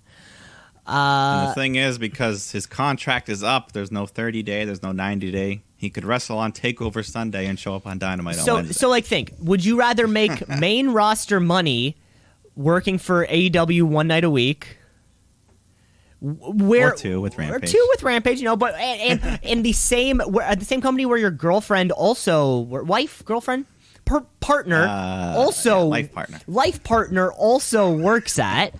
Like that kind of seems like a no-brainer across, and you know, especially you get to the main roster. How do, where does Adam Cole fit into the main roster right now? I mean, maybe, okay, maybe he never goes to the main roster. and then what? Just sits there on less money? No. I don't. Cole, no, I'm not, Cole, I mean, you know, maybe, you know what, say- Adam Cole, you know what the right choice is, Bob. You know what the right choice is. He is the longest single. He has the longest singular reign for both the PWG and the Ring of Honor championships. These guys fucking want you back. and the um, NXT Championship. And the NXT championship, Adam Cole, Kenny Omega, book it right now. I'm not saying I don't want it to happen. I feel like Adam Cole, you know, if they were the same amount of money, he might want to stay in NXT and someday be sitting in that chair beside Triple H and Shawn Michaels, teaching the younger guys of NXT. That is a good point. That is a good point. It is. Uh. It is. Yeah. Fuck. I well. I. I. I've, yeah. I don't want him to. I don't want him to stay. I'm not. I'm not saying. I want him mean, to go. There, there's just so many hot talents on the on the table right now, and all elite wrestling is. Yeah, So like right now, out of out of performers that could be performing but we have not seen yet. Uh, so CM Punk, Bryan Danielson. That's going to be hard to say. That's going to be a real tough one to change that to Bryan Danielson. yeah. so Um, it's not quite as smooth. Not quite. Especially yeah, especially We'll because like yeah, like Miro, like that was a totally different name. But but we're kind of Yeah. like swapping the I'll first probably just say Bryan. I might just say say Bryan. Bryan That was probably easier. uh, Bray Wyatt is now a dude, and of course, uh, you know, flip it around. We also have uh, Lana, C.J. Perry. She's also out there rocking somewhere. We have Peyton Royce. We have Billy Bloody K. Uh, there are a lot of people who have not shown up yet. And also this past week, it just happened. Ric Flair got released. Not that we're gonna see him wrestle, but you know that's a three. You could have three parts of the Four Horsemen in AEW. Where's the fourth? Is has he passed on? Well, I mean, Ole Anderson. I think he's still alive. Okay. I don't know. There's a couple other fourths. I don't know, but either way, three out of four. And then once Ric goes, I mean, Charlotte, her father and her fiance are in AEW. That would be Charlotte sick. Flair. that would be. I would lose my shit if Charlotte I heard that Flair. uh, Charlotte recently trademarked the name Ashley Flair. So uh, I would That's lose name my Ashley. fucking pants. I think WWE would lose their pants. They put all this time into her. They would lose. gone. Yeah, well, they they they would fucking uh they'd fucking lose everything. wow. I think yeah, that'd be huge. That We're getting crazy here. This is, but these are the rumors. This is the world we live in right now. This is gonna be a crazy summer of wrestling. Yeah, I honestly Or can't least- wait for all these people to show up in AEW. we got Rampage. We got a whole another hour we got to fill. Plus Dark, Yeah. plus Dark Element. We got so much fucking time to fill. And all of these performers are also wanted all over the world. They're wanted in Impact. They're wanted in PWG. On the weekend, none of them Malakai Black showed up to uh, hit that black mass on Bandito to close out the first PWG show in over a year. I mean, these performers are wanted all over the planet. Uh, so why wouldn't you? Why wouldn't you? And out of all everywhere in the world, their home base happens to be Jacksonville, Florida, and that's where they're going. Uh, that's the homecoming. So let's just jump right into AEW Dynamite. AEW.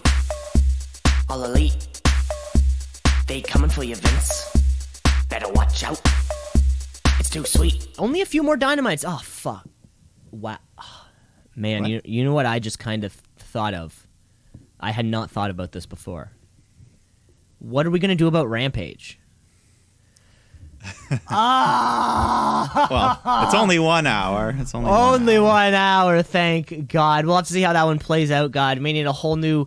s- Yeah, re- we can re- we might need a whole new fucking reformat. Two shows a week, two shorter shows a week, or something. Jesus can, uh, Christ! Yeah, and it's on a Friday. Well, I guess it's the same day as SmackDown, but uh, well, yeah, we'll figure we that. out. I guess we'll figure that out as we go. I guess uh, how Got we another s- two weeks. Yeah, we got another two weeks before Rampage is um kicks off live from not Madison Square Garden, but I think in New Jersey or something. Like also kind of like New York State. I think it's or whatever. Pittsburgh. Oh, Pi- oh, you are right. You are right. You are right. The Britt Baker. is- Britsburg. Britt Baker is all over those promo. Uh, that that uh that that promotional content. But let's get into uh this week's edition of Homecoming. We actually kick off this week's edition with uh the uh the, the third installment of the Five Labors of Jericho, the third labor where Chris Jericho must win with a top rope maneuver where he will be taking on none other than Juventud Guerrera.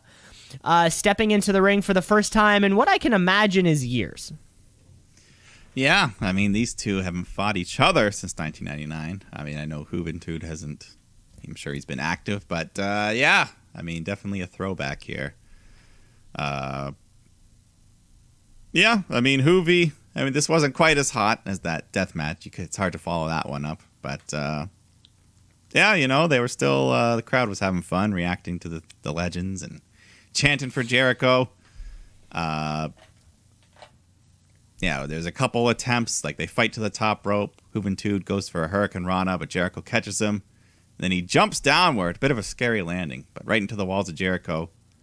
But I don't even know if that would have counted. I also was not one. sure if that would have counted, but they played it off like it would have, so I was Yeah. into it. Yeah, like he was holding it to crawl to the ropes. So, anyways, uh, but Juventud, he doesn't have to follow those rules. He hits a Juvi driver for a big two count, goes for some more, but Jericho hits the Judas effect, but he can't pin him. So he climbs up the top rope, hits a diving, spinning Judas effect, and that gets him the three count. So that was fun. That was unexpected. Uh, yeah. But well, not not the win, but the the diving Judas the diving, yeah. I, I mean, I, I mean, I think you and I were both kind of thinking the Lionsault off Yeah, the top rope if possible, but no, it ended up being that. Uh, Yeah, that was cool. That devastating Judas effect.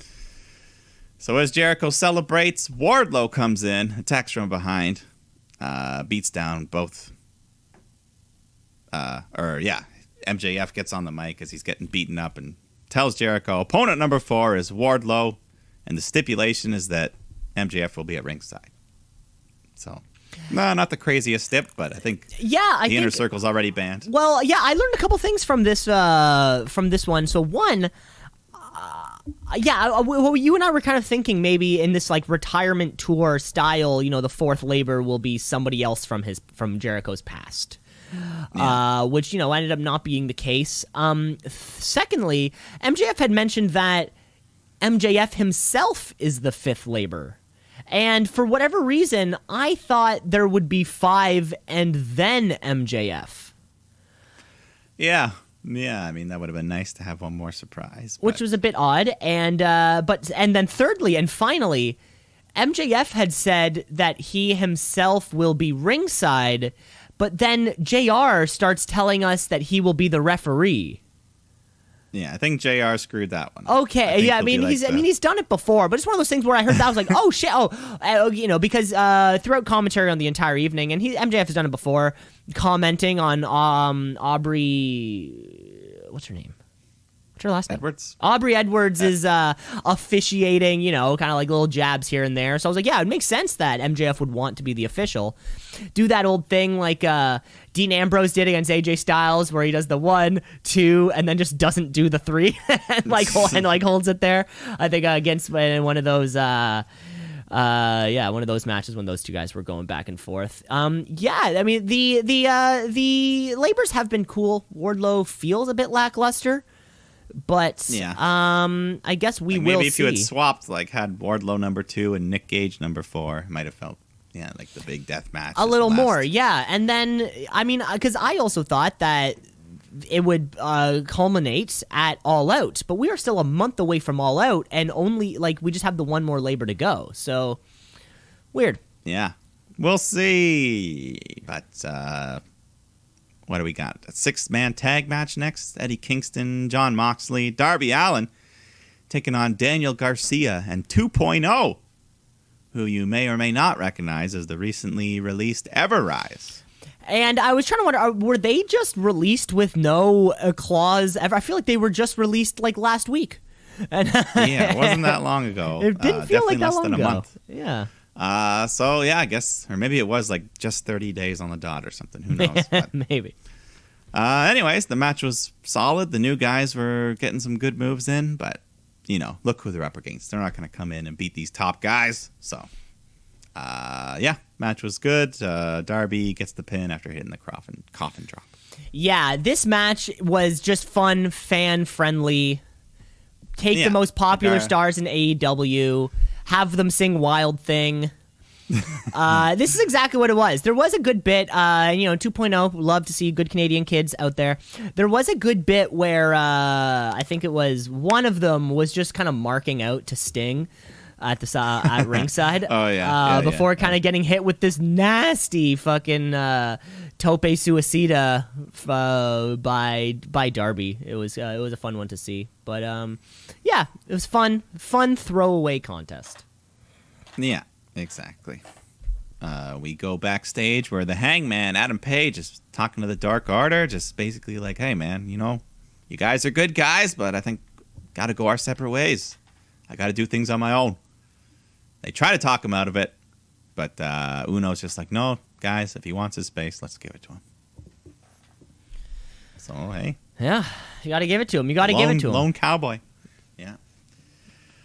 Christian Cage takes on the blade. Uh, Christian's in control when the bunny grabs him by the leg. So Leyla Hirsch comes running out. She attacks the bunny and they fight off to the back. Uh, so the guys they start slugging it out back in the ring.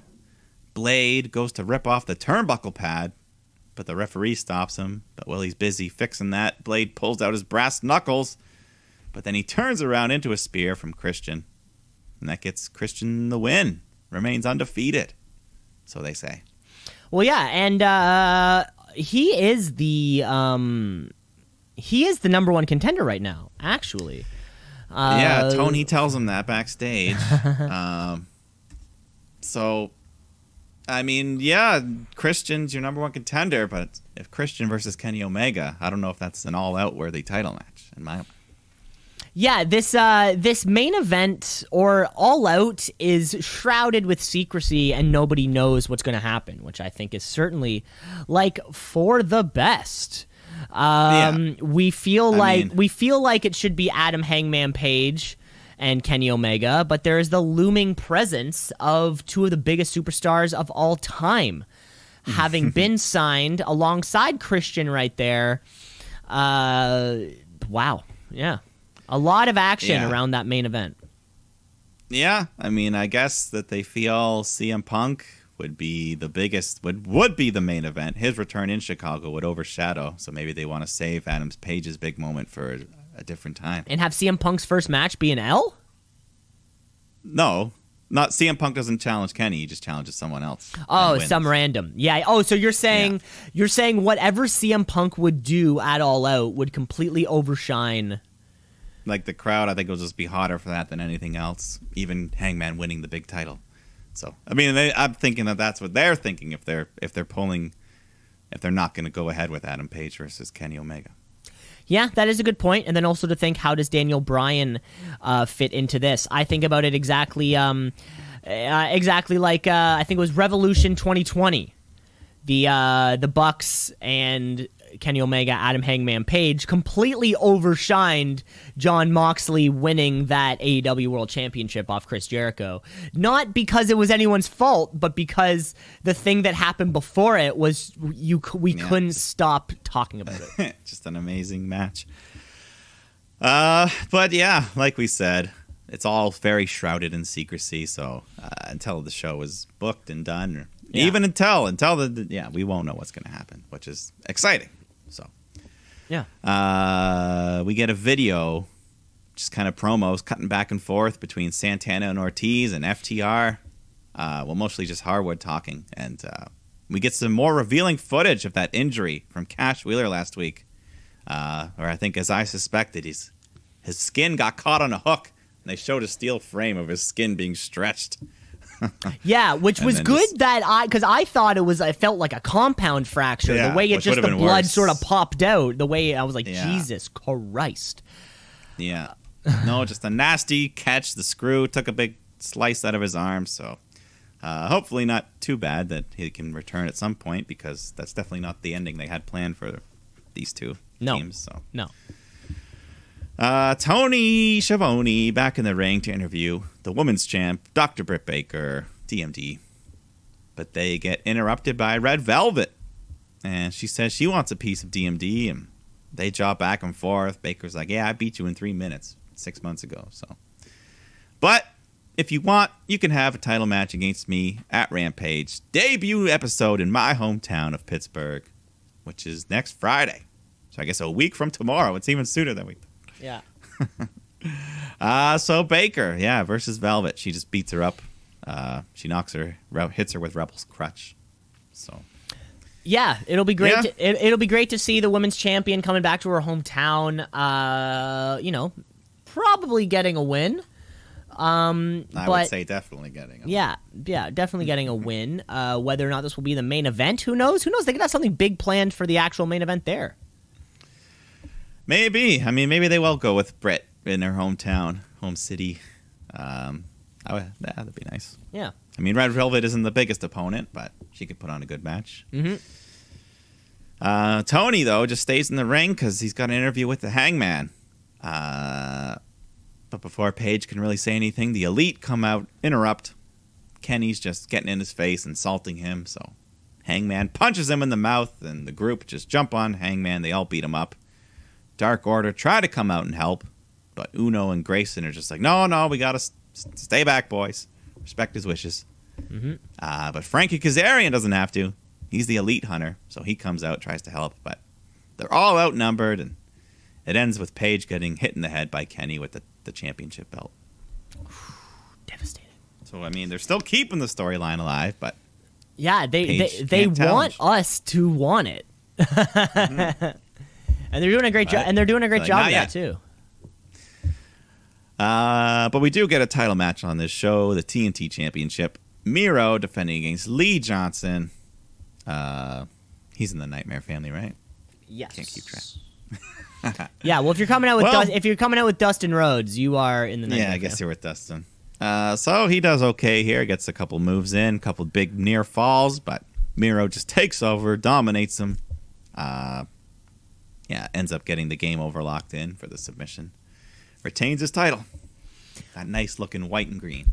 that nice, cool looking title. Yeah, you don't see green on a title belt too often. I uh, got to give it up for Miro on this match. You know, of course, Miro is a dominant champion. Sold very well for this, you know, kind of like relative newcomer. Uh, Yeah. especially you know, and his, his run in AEW, you can just you can see it on him. He's motivated. He's energized. He's having a lot of fun, and uh, you know, the more you enjoy your performance, yeah, he's gonna want to sell a little bit, make it look like I don't know, I don't know, I don't know, I don't know. Um, yeah, and you know, it's, it's just it's fun to see titles defended on a semi-regular basis. And uh, who's next? Um, for Miro. Yeah, no, he needs a big challenger for All Out. And uh, yeah, I guess there's certainly a lot of people that could step up. You got your Jungle Boys of the world. Yep. Uh, I mean, right now heels dominate AEW. I mean, we don't really know what Seems like it. we don't exactly know what Britt Baker is, Uh, but Yeah. Also, forgot to mention in the previous segment when Oh. the uh, the elite came out, Kenny Omega was wearing a Cookie Monster shirt. oh and the initials yeah, Cookie Monster. this CM. they had this promo that was probably just like fodder fodder for nerds uh, looking up little Easter eggs. Of course, he's wearing a shirt that says Cookie Monster, Cookie Monster, CM. Doc Gallows was wearing a Ric Flair style. yeah, Ric Flair robe or something. thing. Um, of course, uh, I, who else? Um, one of them was wearing. No, that of course you know the Hawaiian shirt look is it could be a nod to Bray Wyatt, the Wyatt Yeah, family leader. I think also like uh, Karl Anderson was wearing flat out somebody's shirt. Like from WWF, The Bollywood boy. Yeah, he was wearing the Bollywood Boy shirt. Yeah. Um, I was trying to look for I was trying to look for uh, ways that uh, the Young Bucks were talking that may have been a thing that uh, Daniel Bryan would have said at one point. Yeah, I'm sure this this this whole promo was just chocked full of little things like that. Because yeah, all of them are coming. To, uh, I'm just gonna call it now. They're all coming to AEW. Uh, just- there's no two. Ric Flair, Bray Wyatt, Daniel Bryan, the ic- the Iconics, Charlotte Flair. They're all fucking coming, baby. They're all WWE's going down, and it's starting right now. Starting right now.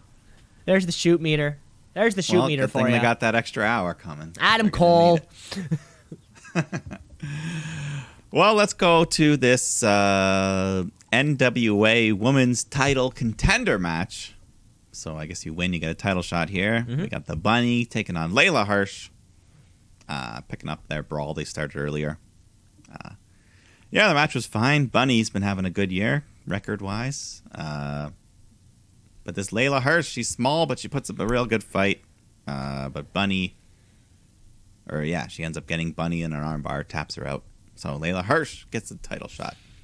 And who knows? Maybe we'll see that title uh, championship opportunity occur here on AEW television. Leyla Hirsch, ever since she came in, it's been like cool. You're like, yeah, you you you you you appear as though you're a fighter, not Yeah, just like, like, a uh, gimmicked person. Where you know, no no not nothing really to the bunny, but the bunny is a gimmick who then wrestled. Uh, Where Yeah. Leyla Hirsch has felt like a wrestler who then does the gimmick. And Kind of like uh, a Ronda Rousey. yeah, and because of that, she doesn't see many losses between even between darks and elevations and uh and all those things. You know, she's a great, you know, she was they they were stuck in that crappy time slot, you know, that 945 or whatever, 936 Yeah. uh time slot, but hey, you know, you didn't. she did they did both of them did a great job within that. Yeah. And then afterwards, the champion Kamille, who I don't really know, comes out to confront her. Yeah, neither do I. I thought it was another woman was the champion, and then when I saw it was her, I was like, "Oh, I don't know who you are." Yeah. I, I mean, it was Serena Deeb. That's who then I thought it was, but I think honestly, Mike, I think that we're two behind that. Probably. Yeah, I think we are like it was somebody. If it didn't happen on AEW, then I don't know. Yeah, it was like uh, Serena Deeb, and then it was somebody else, and then somebody else again. So we're a little we're a little bit behind the ball on that one. That's okay. We'll go to the main event. Much anticipated. Weeks in the big weeks of building up to this one here. Months, if you inc- American Nightmare. Cody Rhodes. yeah, months. Sure. I was going to say months in the making if you incur all the time that Malakai Black sat in a uh, dark, smoky room, building to this moment. We'll be pushing close to a year maybe with that. Uh, anyways, Cody Rhodes is taking on Malakai Black, who comes out with this uh, yeah this dark smoky entrance. He's got this this skull mask on with like antlers. Look pretty know. cool. Cool look. Well, you know, I think, cool I think at, at times the Bucks have come out in a similar deer-inspired uh, get-up, and now we see, uh, Yeah. you know, Malakai Black doing a similar thing, but the dark version. Yeah, his uh, his his trunks were slightly different. They were like shorts almost. he was wearing kinda trunks. Yeah, we you don't normally see him in kind of the, uh, you know, the the uh, tights look, but now we didn't. Yeah, I don't know, but uh, it doesn't matter. The wrestling was on point. I mean, it was well, pretty one-sided affair. Just hard hitting. Uh, Malakai, just you know, he's one of the best strikers in the game. Good submission work. Uh, Cody tries to get a couple moves in. He climbs to the top rope, but then Black just jumps up, kicks him in the head, sends Cody to the floor, crashing through a table. But uh, there was a bit of a delay there on the kick and Cody jumping backwards. It was like a kick. Still appreciate. Ah. yeah. And then like, well, let me look back. Okay, here I go. We're good to go. I appreciate the bump. Yeah. Yeah, good bump though, Cody. Uh, but Cody gets back in the ring after that. Malakai just nails him with the black mass. whatever they call it here. Uh, but just like that, he doesn't even cover him. He just puts a foot over the chest of the fallen Cody as the ref makes the three count. And a huge win. JR sells it big. He was like, My God, what did we just see? um, and I mean, yeah, he beat him in under five minutes. That was a that was a very one sided affair. The crowd was giving a standing ovation to Malakai Black, who looked like a king in this win. And talk about match length. We just went over, hey, long matches, and then suddenly a four minute one happens, and we're like, wow. Well, I mean, when you use it to make a guy look this good, I thought it was very well done. Of course, after the match, as Malakai Black makes his way down to the uh, the backstage area, Cody gets a moment in the ring. Uh, he's talking to Schiavone, gets a microphone there, cutting a promo, um, hinting, or rather, he uh, goes on to say that he's thankful for all the opportunities. He gets to do this with his friends. He gets to bring professional wrestling away from the claws of the corporate conglomerate. Um, and that hi- this has been the best run of his life puts the microphone down, goes to take off a single boot. JR Yeah, like, what's going on? JR promptly lets us know that it's tradition for uh for uh, uh when a performer leaves the sport to leave their boots in the middle of the ring. But before uh, Cody can pick up the mic or pick up the second boot, Malakai Black returns and blasts him uh, with a crutch as Cody falls uh, to end the show. Yeah, so Black stands tall. Uh, yeah, which I mean, he won the match. Very happy to see that. Cody's little fake retirement. I don't know what that was about. Um, I mean, I, he's he's not retiring. Come on. I mean, right? he said he was like, guys, way I- too young. He, well, he I, in that promo, he played into some of the things that we kind of have been feeling about him too, where it's like he knows that he's the one on the front page. He knows he's the one that got asked to, uh, um, you know, be on the other shows, do other things that aren't wrestling, right? He knows he's the one that's being thrown down our throats, and uh, maybe he knows that it's time uh, to to hang up those boots. As it were. But even before all of that happened, Malakai Black made Cody Rhodes look like a fucking jobber that we just fed to Papa Shango on a Saturday morning. Uh, this was, yeah, one of those dominant performances that you just sort of see out there. I also did not catch if they renamed the Black Mass. I also didn't catch what they called it now. Um, maybe they just kind of called it the Black Mass. Yeah, I mean, might as well. I don't think you can trademark Black Mass. I don't think you could. Um, but yeah, this feud, I feel like we're going to write a few more chapters into this feud. And hopefully, this, or maybe for the first time, the culmination of the story will not be a triumphant performance by Cody Rhodes. You know, I mean, we got multiple retirement teases. We're going to get a little bit more. Um, and you know, this is the first time we've seen Cody. Lo- Cody Rhodes lost this dominantly to Brodie Lee. I think maybe was the match Yeah. was a little bit longer. Um, This but one, this no, uh, the Brodie Lee match I think was a little bit longer. It was like that dog collar match, maybe. I can't quite remember. Um, but yeah, isn't it funny that Cody Rhodes knows how to shove himself down our throat, but then also knows how to fucking job out to the person who should clearly get the win? It's funny that he knows how to fall on both sides of that coin. And Cody Cody Rhodes' win loss record isn't like anything to like, you know. Run home about. Like he gets losses in singles, in uh in tag competitions, kind of like all the time. well, I have heard that he's got to be going to film the next season of the Go Big show. So maybe this, I don't know. Uh, and we are and we already know he can't ever challenge for that uh AEW championship ever again. Like that we got we got that step out of the way nice and early. So um yeah, it was great to see Malakai Black come back with this. I don't think these two are over, nor do I think they should be. I think these two could tell one hell of a story going forward, and it continues to remain this. You know, Cody left before Malakai got to WWE. This continues to remain one of those fresh matches. Yeah. No, I'm sure that they'll have another match at All Out in front of a bigger crowd and probably longer than five minutes. Yeah, definitely so, definitely so. And that was AEW, and that was all the uh, the roundup for the entire week. Big week here, um, sort of all throughout. It felt. Mm-hmm. Yeah. Well, um, as we wrap up our show, I think we only have time for one more thing, and that is to uh, for us both to name um, our wrestlers of the week. Mr. Wrestler of the Week, of the Week. Wrestler of the Week,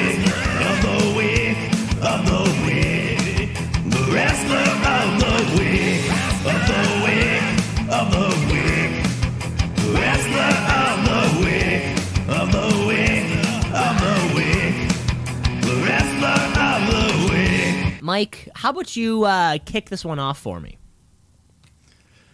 All right. Uh, yeah, yeah, a couple good matches, a couple good performances, but uh, sometimes it's not about how much you do in the ring; it's just about how you come across. And uh, this man couldn't have come across any better, so I'll just give it to Malakai Black for all the stuff we just talked about. Looked as good as we know he is, uh, and that dominant win over Cody Rhodes. So nice main event for Malakai Black.